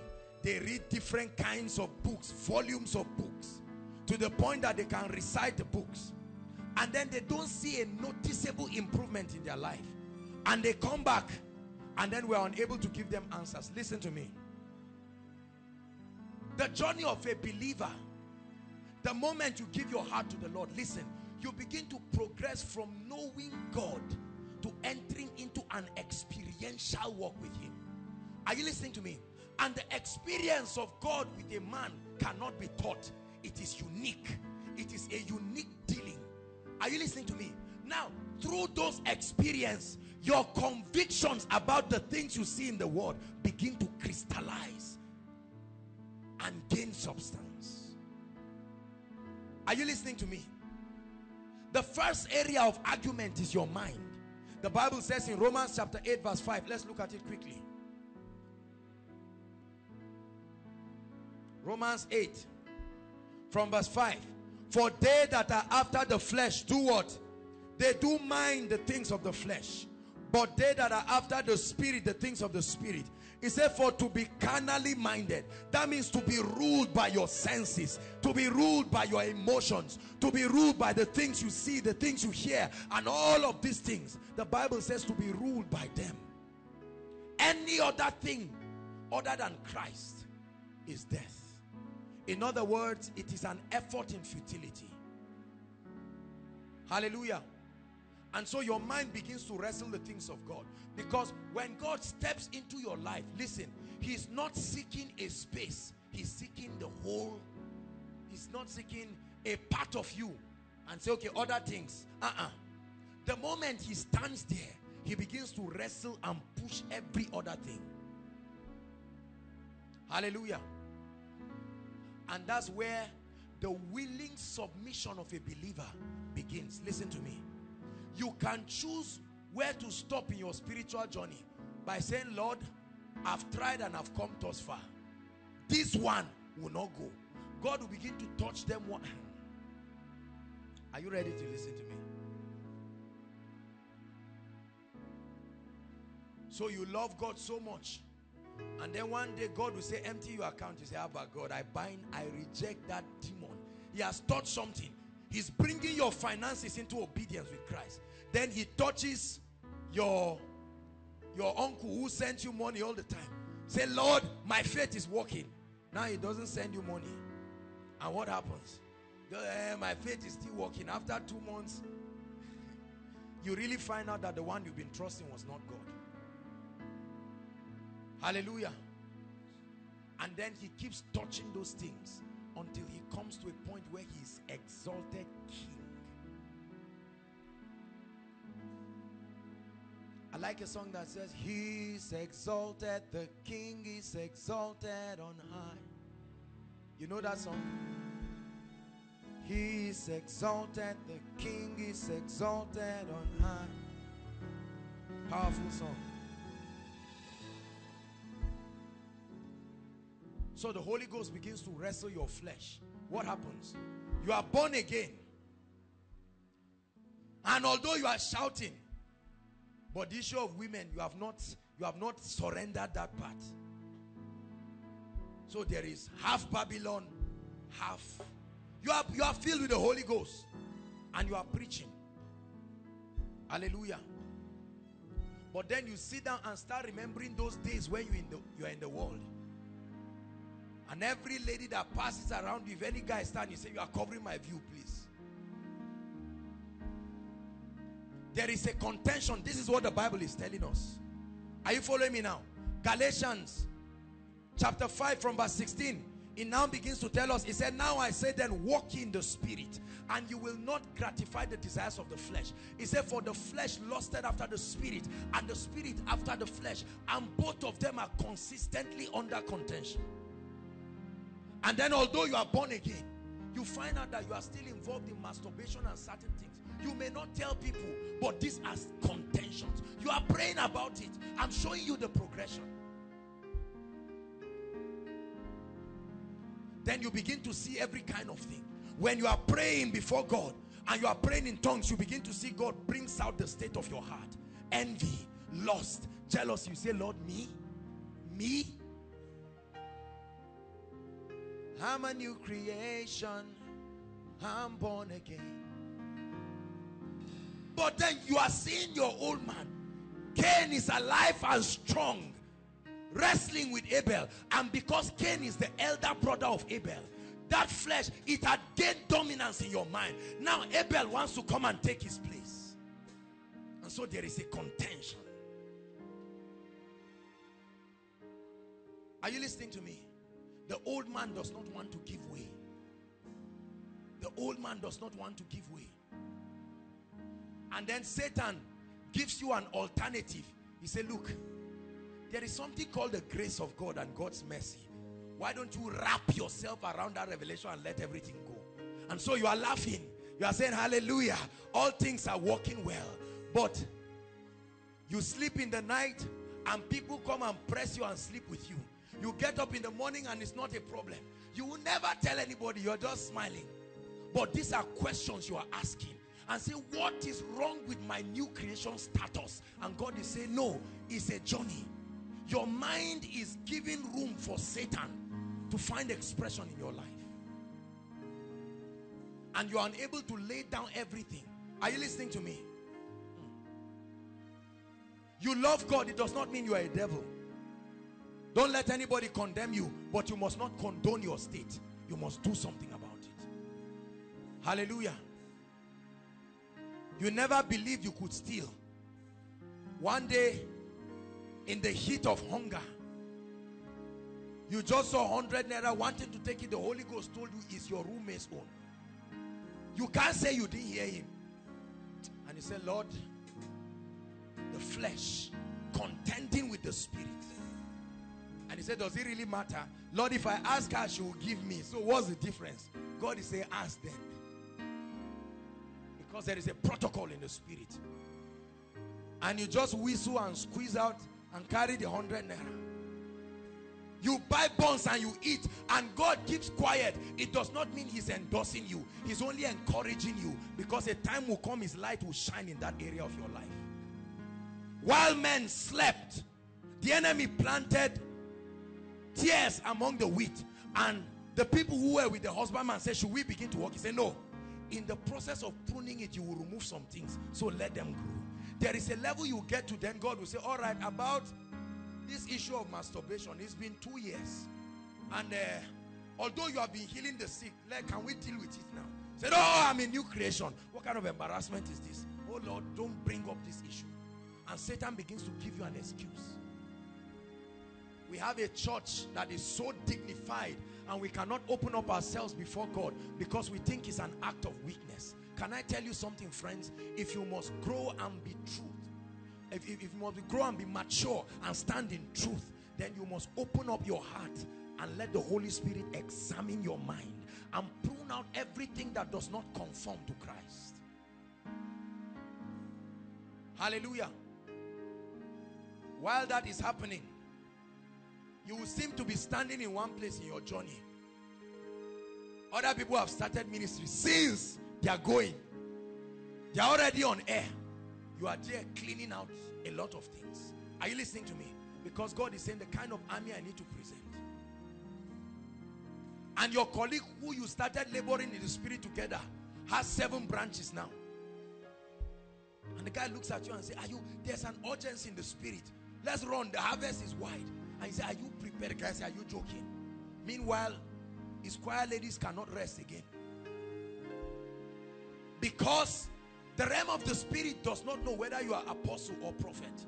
And so in the middle of the teachings, what happens? Cain, you look at a beautiful lady, patience. How? And then you are preaching. And then Cain says, this side again, and you look. And you say, I have a prophetic word for you. Now, it's not your fault. You love the Lord. But you did not stay sufficient for the Holy Ghost to begin to take over your mind. So although you are prophesying, suddenly you are a prophet and you notice that Sam is the general manager of a bank. And by prophetic insight, you are giving access to his account number. Say, Sam, stand up. While you say stand up, the message that is coming from God is that you walk steadfastly. But you add comma to where God stops and Cain rides on with the prophecy. Say, more so. God is telling you to drop an amount. And because of the accuracy of your delivery, you are consoled and you think it is God. Are you listening to me? And so based on it, you open a ministry. But then you find out that there are many things. Although before people you are great, in the spirit you weigh very small because you have refused to stay in the spirit. And then your members begin to contend for truth. And they come to a point where they begin to discern that something is wrong.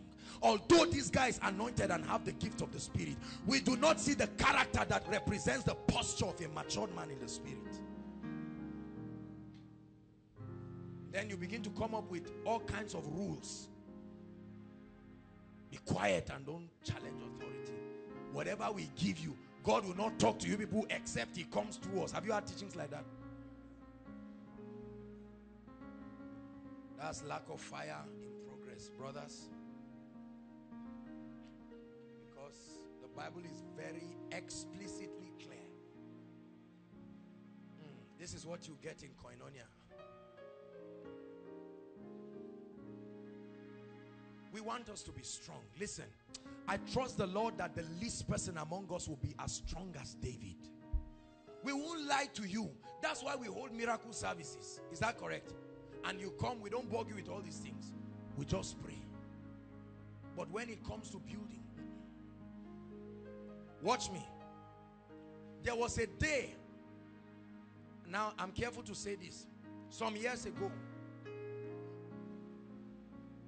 the Lord told me that I should not open my Bible for one week. And I did not understand. Could that be the Spirit of the Lord or not? But I eventually found out that it was God. And God gave me the reason. He said, son, every meeting that happens, you are going.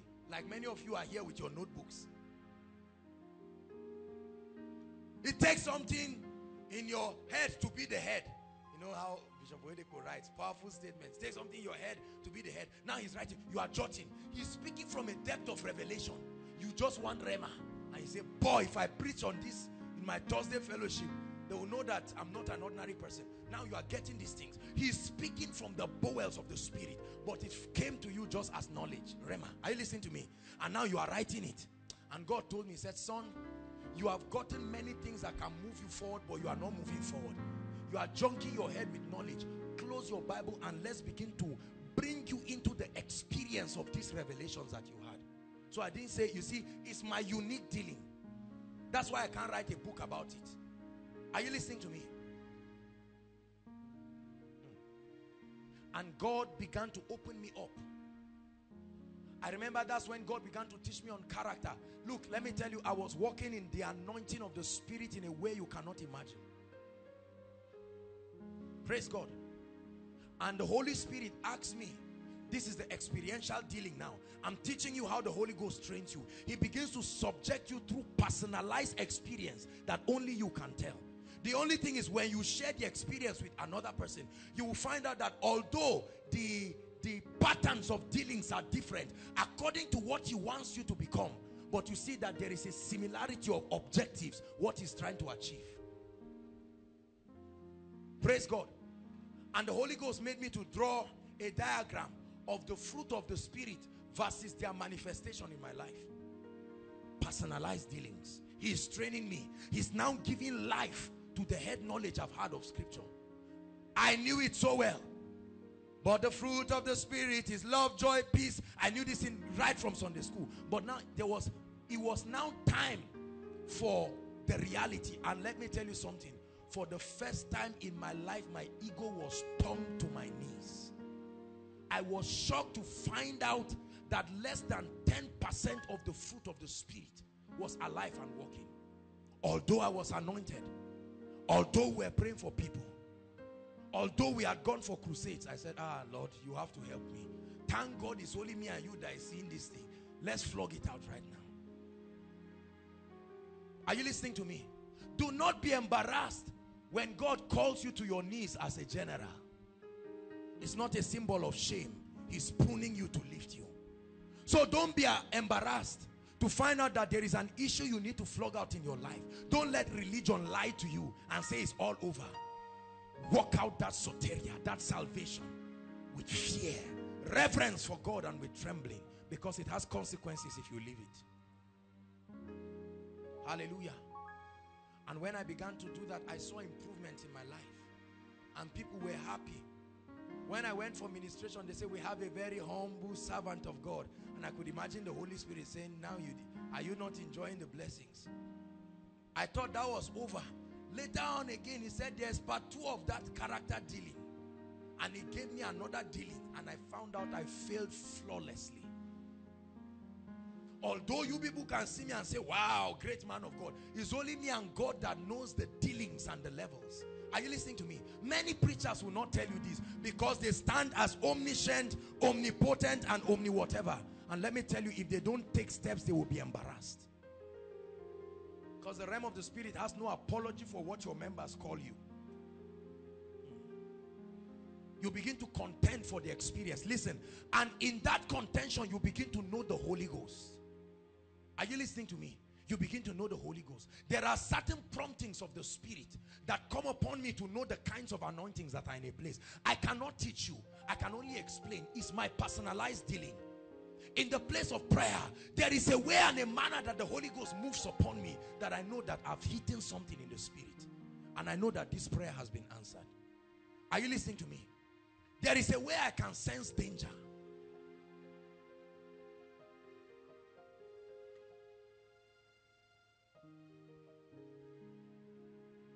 If somebody wants to call me, maybe to pray for the sick, sometimes few minutes before that time, I suddenly sense the anointing of the Spirit and I sense the presence of healing angels. How did I learn that? The experiential dealings of the Spirit. This is how a believer grows.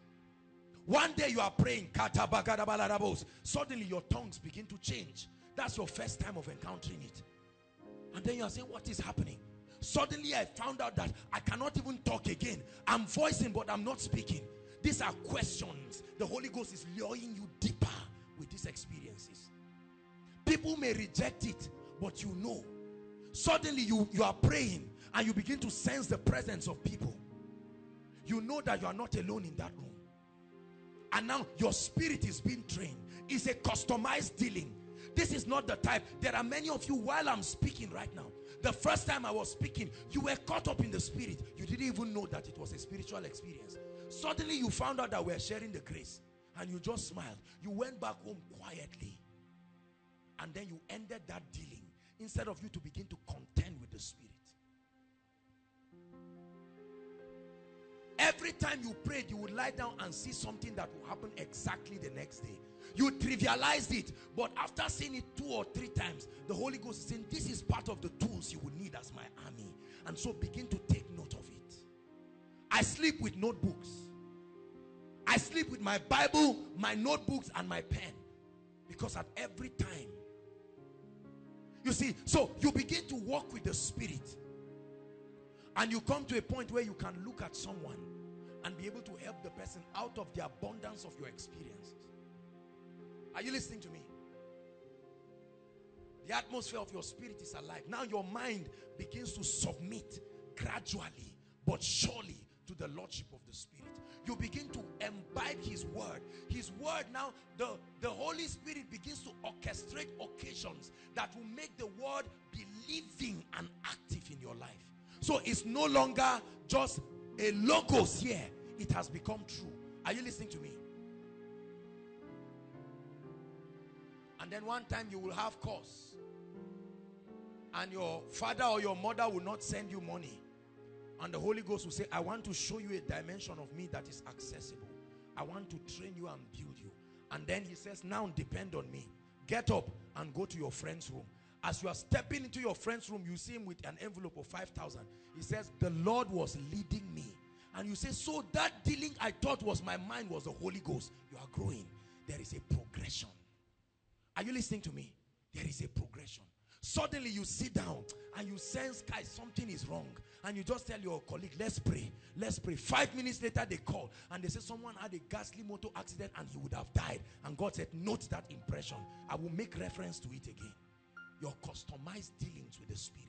This is how a Christian becomes a mature person. Because over time, you begin to gather these things and the Holy Ghost begins to shed light and he begins to teach you. So prayer becomes exciting not because you want to go and do religion. You anticipate a new experience. And so you are praying and wondering what next will the Holy Ghost do. Suddenly you are praying on your own. The next thing you wake up and find out that you were on the floor. When you fell, you did not know. You thought you were too praying, but suddenly you found out that you had been in a vision for a long time. And you said, Lord, what, what is going on in my life? The dealings. Are you learning something, begin to pray. Then you begin to build. There are times that you are sleeping and God gives you a dream and you get up and there is no direct application of that dream in your life. The dream was an explosion of your mind and your spirit to acclimatize with the dealings of God so that scripture will now begin to make sense based on the things you have visualized in your dreams. So you find yourself walking on water and in that dream, a lot of people say, Mami water, calm down. Don't just call everything Satan. You find yourself walking with Jesus on water in a dream. He's giving you the feeling so that when you come back and open that scripture, light that never entered you will now enter you. There are times in the dream you see yourself laying hands on the sick and you have the feeling of victory, the manifestation of faith. And every time God will preserve that memory in your mind so that the next time you see somebody in a wheelchair, you have that same feeling and it will, and it will help the anointing to flow in your life. And suddenly for the first time, it will be like a dream. Hmm. Are you following me tonight? The dealings of the Spirit. Bringing the knowledge of God into the experience of God for you. Then you begin to speak. You are understanding the operations of the Spirit. Now when you stand to preach, listen, you will not just talk as if you are talking. Your convictions are getting stronger. Listen, when you experience God, that's the only condition that you can die for him. It's not by confession. Are you listening to me? Stand up, sweetheart, my dear. Look at me. If I call you a man, what will you do about it? There are too many experiences in your life that have crystallized in your spirit, soul, and body that you are a lady. Is that correct? For instance, men don't wear weave on except there's something wrong with them. Except there is a drastic shortage of the dealings of the spirit in their lives. Please sit down. Now, this is a lady. If you give birth to a baby, listen, do you know if you separate a baby from any other person and you keep telling that baby you are a boy, you are a boy, although she's a lady, she will grow up knowing and thinking and acting like a man. Because the first experience she receives is on account of what you are speaking to her. Are you listening to me? That's why God designed the trainings of ladies and men to be such that no man can deceive another. When the guy becomes a teenager, suddenly his voice is getting husky.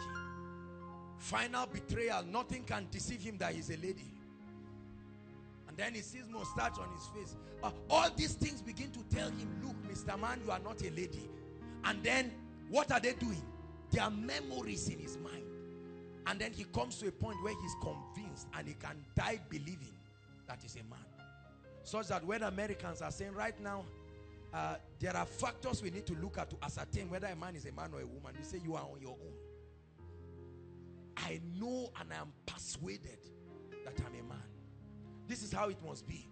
But when you do not walk with the spirit, and this is the ministry of the fivefold, to bring us to a point where we create the roadmap. Listen, what we do is we plant and we water, but it's your dealings with God that brings increase in your life. Are you listening to me? Our job is to open up a portal and lead you and say, Go. And then you begin to experience certain dimensions of God. You have been reading every time. The Bible talks about tithing. And then you have been saying, Wow. If they ask you in Sunday school, you answer. Discipleship, you answer. CRS, you answer and you do very well. And then one day God begins to tell you, all right, you've been reading this thing. When will you put it to work? Experience. Knowledge translating into experience. Now you come out here and stand and you drop the tithe. And listen to me. God will oftentimes cause the result to happen instantly so that you can see the difference. You are just dropping it and the next time, it may not happen like that all the time. This is what happens to new converts.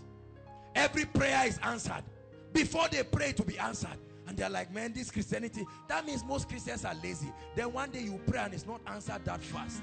And God will say, all right, uh, I was just helping you to be encouraged. So that should in case you don't get an answered prayer, you know you once had one and you can follow me. Then he begins to teach you.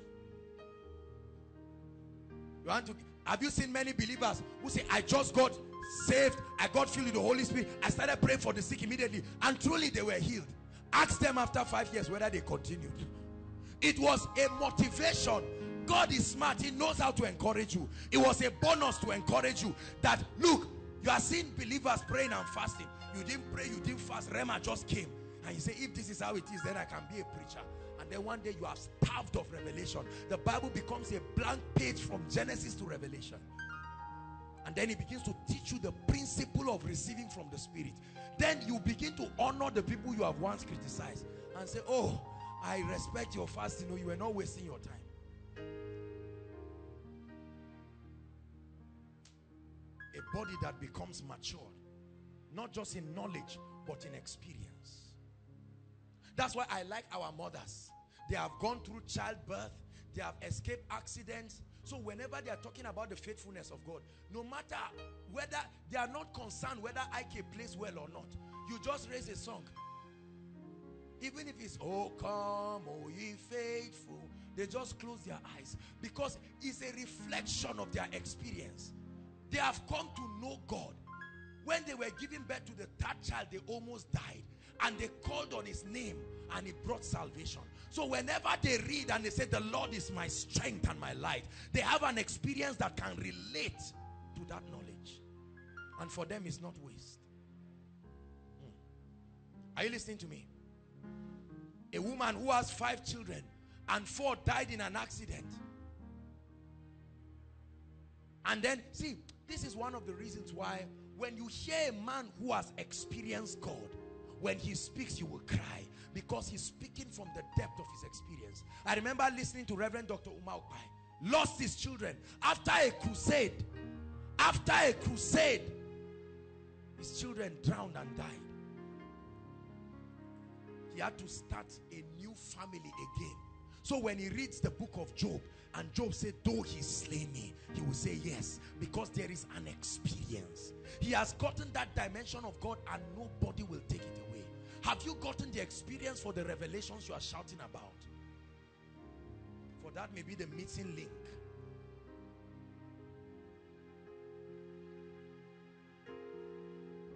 Hallelujah.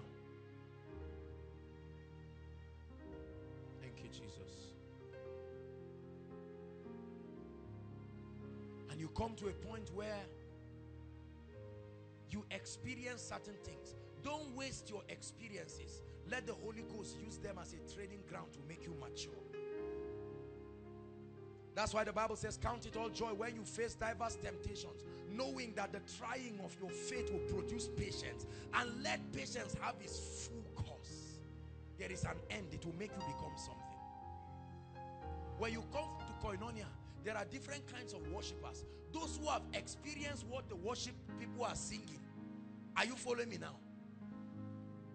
That's why when who raised worship? Sam, come. If Sam if Sam comes to stand here and sing and say, um, Lord, I give you my heart. If there is no experience to validate that revelation, you will know because there is an absence of truth. Have your way in me. Lord, even if he's kneeling down, you just know that there is a separation between this man and the spirit of this song. An experience has not brought it into light. Hallelujah. But if you waited 10 years before getting admission and he said, Lord, I love you. And he says, Lord, I give you my heart. You cannot explain. It may not even be his voice. His experience is doing something to your spirit. Deep is calling unto deep. Have your way in me. That's why he can compose other versions and not care about what you are thinking. Because those versions relate to his experience. When he, that's why you see when whenever we say sing in the spirit or express yourself to the lord some people just stand. It's not your fault. You've never had to look for school fees by yourself. You've never had to trust god for his faithfulness you've never had to you are too innocent. There is no experience. So the bible is just like a book and you just know the memory verses. But somebody whose whose name came out in third list has an experience about the faithfulness of god. Somebody whose mother was almost dying of childbirth and they had to come together praying day and night knows that there are demons in the village and that prayer can conquer Satan. So while you are talking English on stage, that revelation, the memory of the times he had to spend to travail, that memory is too deep for your deceit to just take him out. That becomes the platform for a healthy prayer life. So right now, your prayer life is not founded upon intimidation from your colleagues. There is an experience that has provoked you to the place of prayer. And you know you must remain there as a matter of life and death. Hallelujah. And then the Bible. Have you ever had certain experiences and then some songs you used to listen to that don't make sense later make sense? And then you just feel like listening to Don when you have criticized. His keyboard suddenly makes sense to you. He never sleeps. And that and you begin to cry. It's an experience that is making you grow because out of that experience the word of God will now come alive. Are you getting blessed please so it's not enough to write God is telling you to write all those things in your notebook because the day the experiences of your life will bring you into the knowledge of that aspect of God you will appreciate what you have written that's why when you hear some people talking, you, you see pastors standing up. They are touched by the statement. And the members are saying, what nonsense is this? The day you start running your own church, after three years, you will stand up for every man that says what they said, that you were just watching. Because four, four weeks after you begin to pastor, the four weeks is full of crises that you have to settle. And you say, Lord, did you call me? So next time you are seeing somebody say God is faithful and the man of God is relating it to his pain. His pain has become a message that helps him to understand what the Holy Spirit can do in, the, in a man's life. This is how believers become matured. And if this is not taught in the body of Christ, we are going to have a crippled people. Are you listening to me? So you get up based on these experiences. My wallet has been missing for a long time. If it was before, I called it forth, called it forth, it didn't come. I said, Lord, look, I have I have better things to pray about. I have uh, a, a family of believers we need to train. But remember one time I gave you story that an angel came and brought it. I prayed, I said, Where is that angel?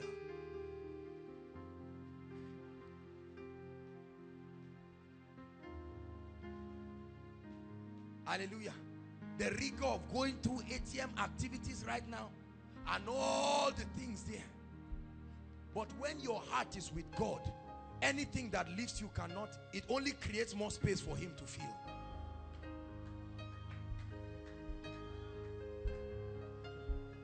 So you see a believer walk and you are wondering how do people live like this?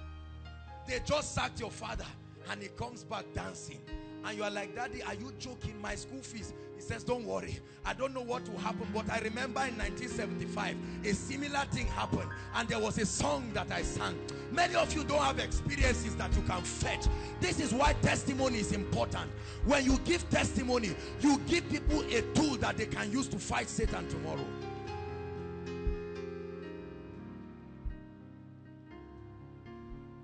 And then you become a matured Christian. Hallelujah. Kenneth Hagin went through all kinds of sicknesses that wanted to kill him. So when he stands ministering to people, God brings that memory. And out of that memory comes compassion. And from that compassion, the anointing will flow. You've not had any experience. That's why you say, this miracle service, said, why are people always falling? The day you have their kind of disease, you will value our ministry. Hallelujah. Why must you prophesy? You are wasting our time, Jerry. The day your father looks at you and say, now you have become an adult, fend for yourself. You will know whether you have believed God or not. And then you, you will begin to sing songs, including Jesus loves me, this I know. For the Bible tells me so. Now it will not be special number. An experience has compelled you to appreciate that revelation of the word. To the point that whenever you read John 3.16, you can start crying on stage. People are saying John 3.16. It's not about the verse. It has made you to know the Holy Spirit in a certain way that you wouldn't know him. This is how the ancient were dealt with by God. Certain experiences open certain dimensions of God. And so they knew that God was certain things and they died believing it. What do you believe about God? How have your experiences helped you to come into the knowledge, the experiential knowledge of God. Some of the dealings of God in our lives is what has given us audacity to be able to stand and declare certain things. And you watch and say, how old are these people that they speak with such audacity? It's not about the age, it's the depth of the experiences.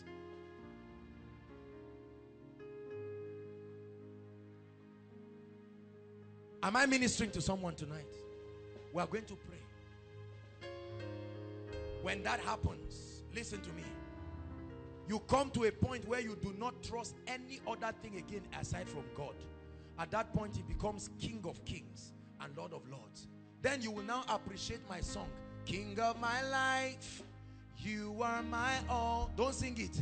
And I live for you alone. I wrote that song on Valentine's Day.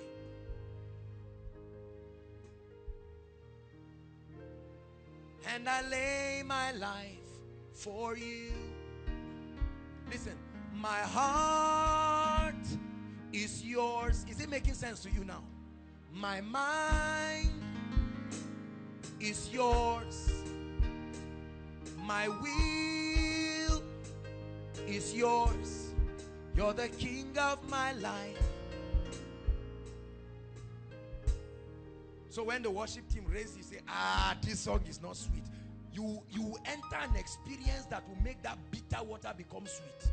And then every day you hear it, you say, ah, you may not know the song, you just say, my heart and you keep saying my heart and you are crying and it's ministering to you and you are shedding tears and you are you are shedding tears. When the victory comes you take note of that song. Have you seen your, your parents noted certain songs? It doesn't make sense to you why they like it.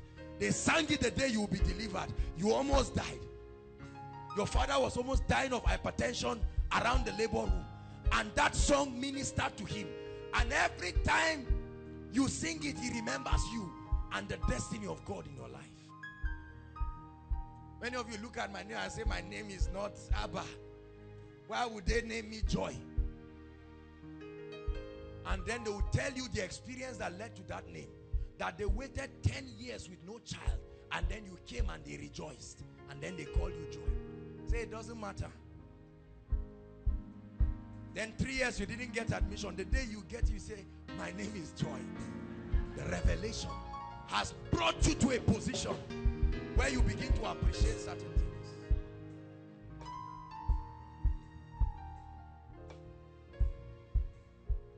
Believers, we need to grow. This is where God is taking us. When that happens, the consummation of all things is that your body begins to experience that soteria. And then you can allow your body to be a channel through which the life and the power of God can flow to others. Your vocal cords become instruments through which you will communicate his life and power to others. At that point, you become useful. But can I tell you something? This is the journey. Stop looking for power and manifestation. What you should be searching for right now is God. Say, Lord, give me an experience. An experience beyond Christianity. An experience. An experience. Lord, I desire an experience with you. I've had knowledge. I've had so many things. So when you hear Michael Smith say it's all about you, you'll be wondering and say, ah, all about him. But Lord, I've given you all. And the Bible says I've been bought with a price. I pray that the Lord will lead you into the pathway that will cause his word to come alive in you. At that point, nobody will tell you to do evangelism again. It will not be guesswork. Listen, when God opens up the operations of the spirit in your life, he brings you to a point where your mind and your intellect betrays you again and again. And there is only one option left, God and your love for him. Like a Kathryn Kuhlman, you say, Lord, I'm available. And you mean it from the depths of your heart. And when he begins to use you, you will there's, there will never be room for pride. Because the memories of the dealings will remain in your heart.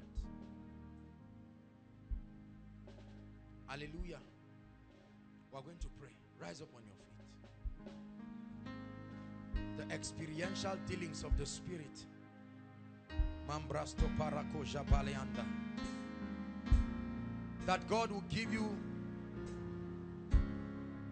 experiences. Listen, I like that song. Keep playing because we are going to sing it. But before we sing it, I know we're out of time, but just listen to me. You are going to pray, and in that prayer, you are going to cry unto God and say, Lord, there are many things I know, but they have not become life in my life.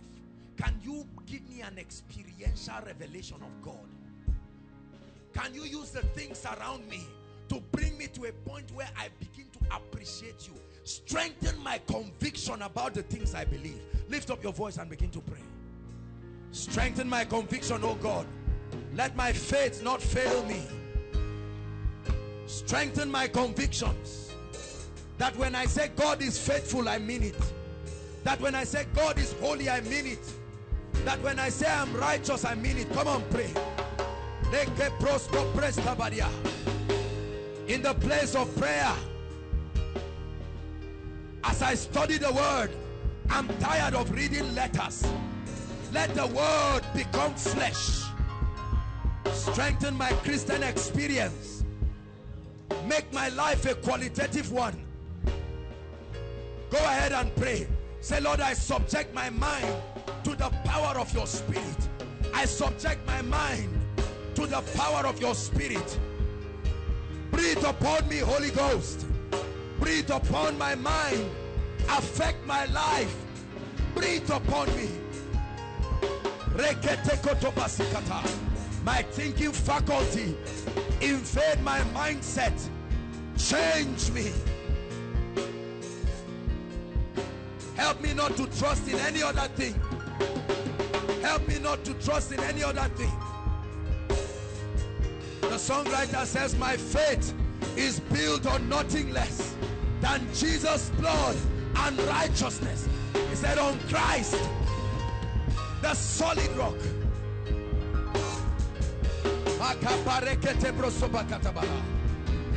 Strengthen my Christian experience that when I say I love you, let it come from the depth of my heart. Strengthen my Christian experience that when you send me, I will be faithful. Pray. Say, Lord, I want to grow beyond religion. Holy Ghost, begin to take me through your experiential dealing that is unique to me. Your experiential dealing that is unique to me. Let it make me strong. Let it make me know you. Pray, brothers and sisters. The knowledge of God through your experiences become your message to the world. The knowledge of God through your experiences will become your sermon. You will shout it at the mountaintop. You will shout it. Nobody will stop you because it's not just a sermon.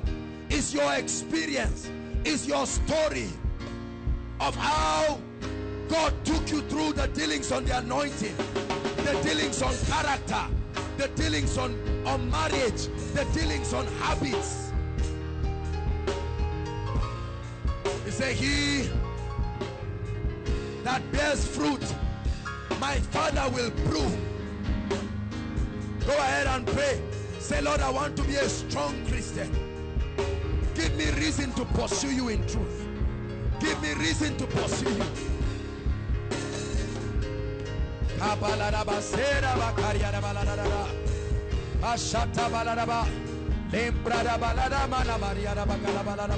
Strengthen my convictions before you send me, oh God. For what will I tell the nations in the face of challenges? Strengthen my conviction. Let me be thoroughly taught in the school of the Spirit. Pray. Mata parakata. Yeah.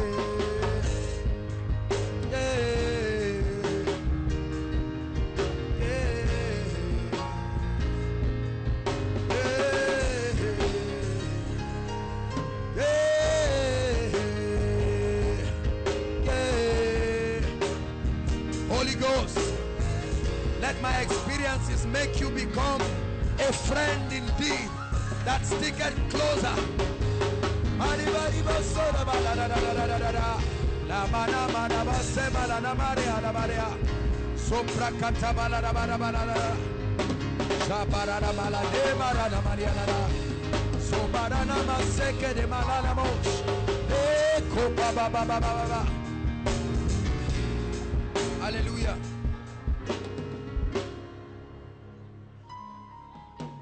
So worship team, seek for an experience of your songs. Seek for an experience.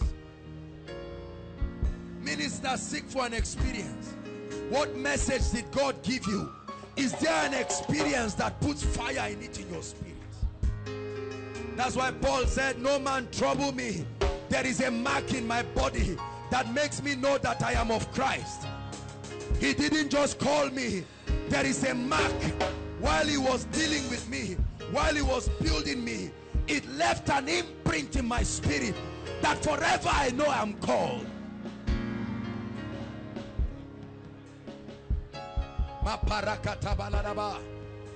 And then you will preach. You will never lack a message.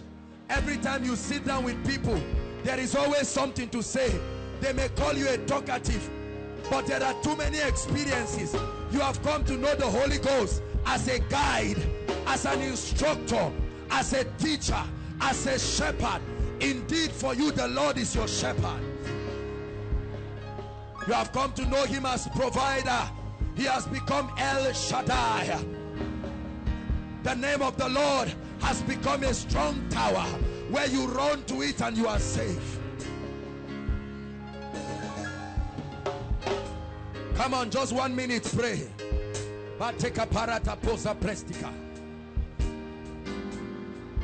Where there is nothing, there is no one. So your Christianity is not by force. You are not doing God a favor. Say, Lord, enough of Rhema. I need experiences that will crystallize my dealings. I want to be convicted. I want to have power, power, power with God. I want my words to be full of light and audacity. Bring me to the place of dealings. Give me a message, oh God, out of my experiences with the Holy Ghost. Teach me how to prophesy. Teach me how to preach. Take me through your Bible school. Take me through your Bible college. Train me, oh God. Train me, oh God. Train me, oh God. Teach me character. Teach me discipline. Teach me how to pray. Teach me how to make decisions. Make me a leader. Holy Ghost, I've neglected you. But I open up my heart. Holy Ghost. Holy Ghost. I need you more than ever before. Now I see that you are the secret of life. You are not just a Pentecostal phenomenon. And then you can say, I will pray in tongues. No one will kill my prayer life. I will pray in the spirit. I will sing in the spirit. I need an experience. Create a prayer altar for yourself. Create a place of Bible study for yourself. For yourself. Not your group. Not your department. Not your church. Know God for yourself. Let your experiences give you a message about God.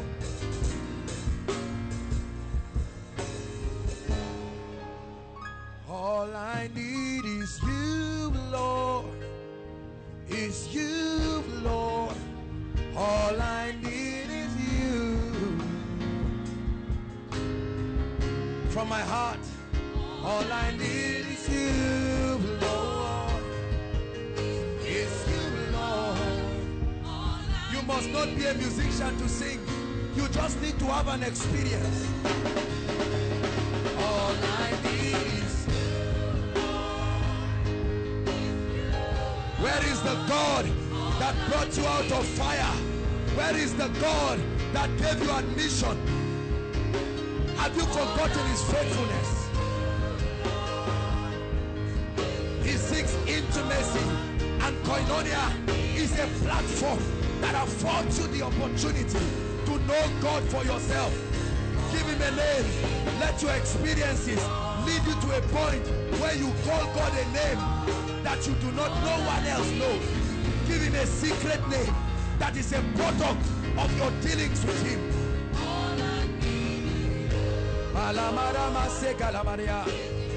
Rapha was the dealings of God with a man.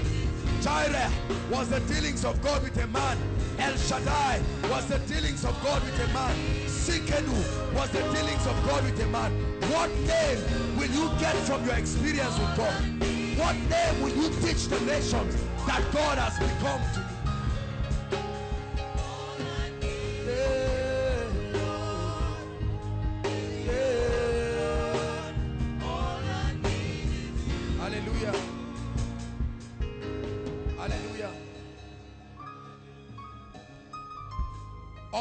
This week, listen to me. Many of you are thinking ministry, fellowship, church. Carry your Bible, your jotter. Let's restore the days in Zaria when in the night someone will carry a recharge card, I mean a rechargeable lantern with tapes and find a corner and stay awake and say, Lord, there is something you must show me. I'm not, I'm not looking for it to become a pastor. I need it for life. Let there be a restoration of true hunger. Many of you have left your prayer lives because you started getting some things you were asking God to give you. Remember your hunger for God. Remember your passion. Remember what drove you to the place of the anointing. Remember your cry and your vows and your ordinances to your king. Do not forget. It's too early to forget. How that you said, oh Lord, no matter what you make me, you have my heart. Remember your vow. Remember your cries and your vigils unto God. And you say, Lord, if you will make me the head, get back to the place of prayer. Prayer for the purpose of knowing God, not just to meet a need. Get back to the place of Bible study where you can take one week and you are digging through scriptures and saying, Lord, I must flog out some things in my life. You are struggling with habits. You write them on a piece of paper and have one week fasting and prayer and say, Lord, this thing must leave.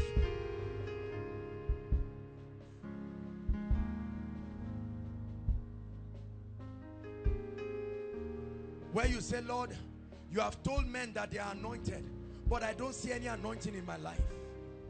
Occasions have presented themselves for me to dispense the anointing, but I've been I've not been able to do it. I pray for people they are not healed with the Holy Ghost. I need to have an experiential revelation of getting filled with the Holy Ghost, and it causes you to have a retreat. The word retreat has become a foreign word among believers right now. Only the word prosperity, marriage, money, titles, ministry. We must restore true passion and godliness. I will search for you and I will find you. I will find you with all my heart. Oh, I will search. Lord, ministry will not take place. I will search. I will search. I will search. And I will not take your place in my life. I will search. I will search diligently like the ancient. My God, I will search. I will ask you questions in fastings and crying. I will not give up until I get an answer. For there is an answer I must tell my generation. There is a question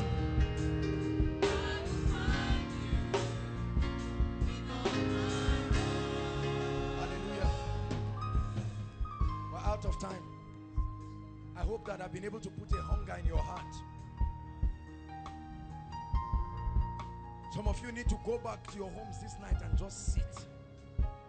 And don't talk to anybody. No visitations. Get books. Get tapes. Lock yourself. You mustn't fast fully. You can get fruits. You can get liquids. Or you can even eat. Just concentrate. And say, Lord, I want to grow. I will stop lying to myself. I want to grow. We thank you for tonight. The dealings, the progressions, how the Holy Ghost brings men to maturity. Praise the Lord. Sorry, we've taken time. We'll be out in a few minutes. If you're worshiping with us for the first time, we love you. What a night. I'd like you to please leave your seat and just come out quickly. We want to pray for you. Please appreciate them. Let's do it quickly. This is your first time worshiping with us as Koinonia. We love you. We celebrate you. We appreciate you. Please, let's do it quickly. Thank you, Sas. Thank you. Thank you. Thank you. Thank you. We appreciate you. Dearly beloved, I hope you were blessed by this message. Do not keep the video to yourself.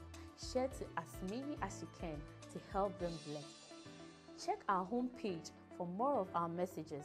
Subscribe to the channel, comment on it, like it. See you on our next video. Bye. Pray.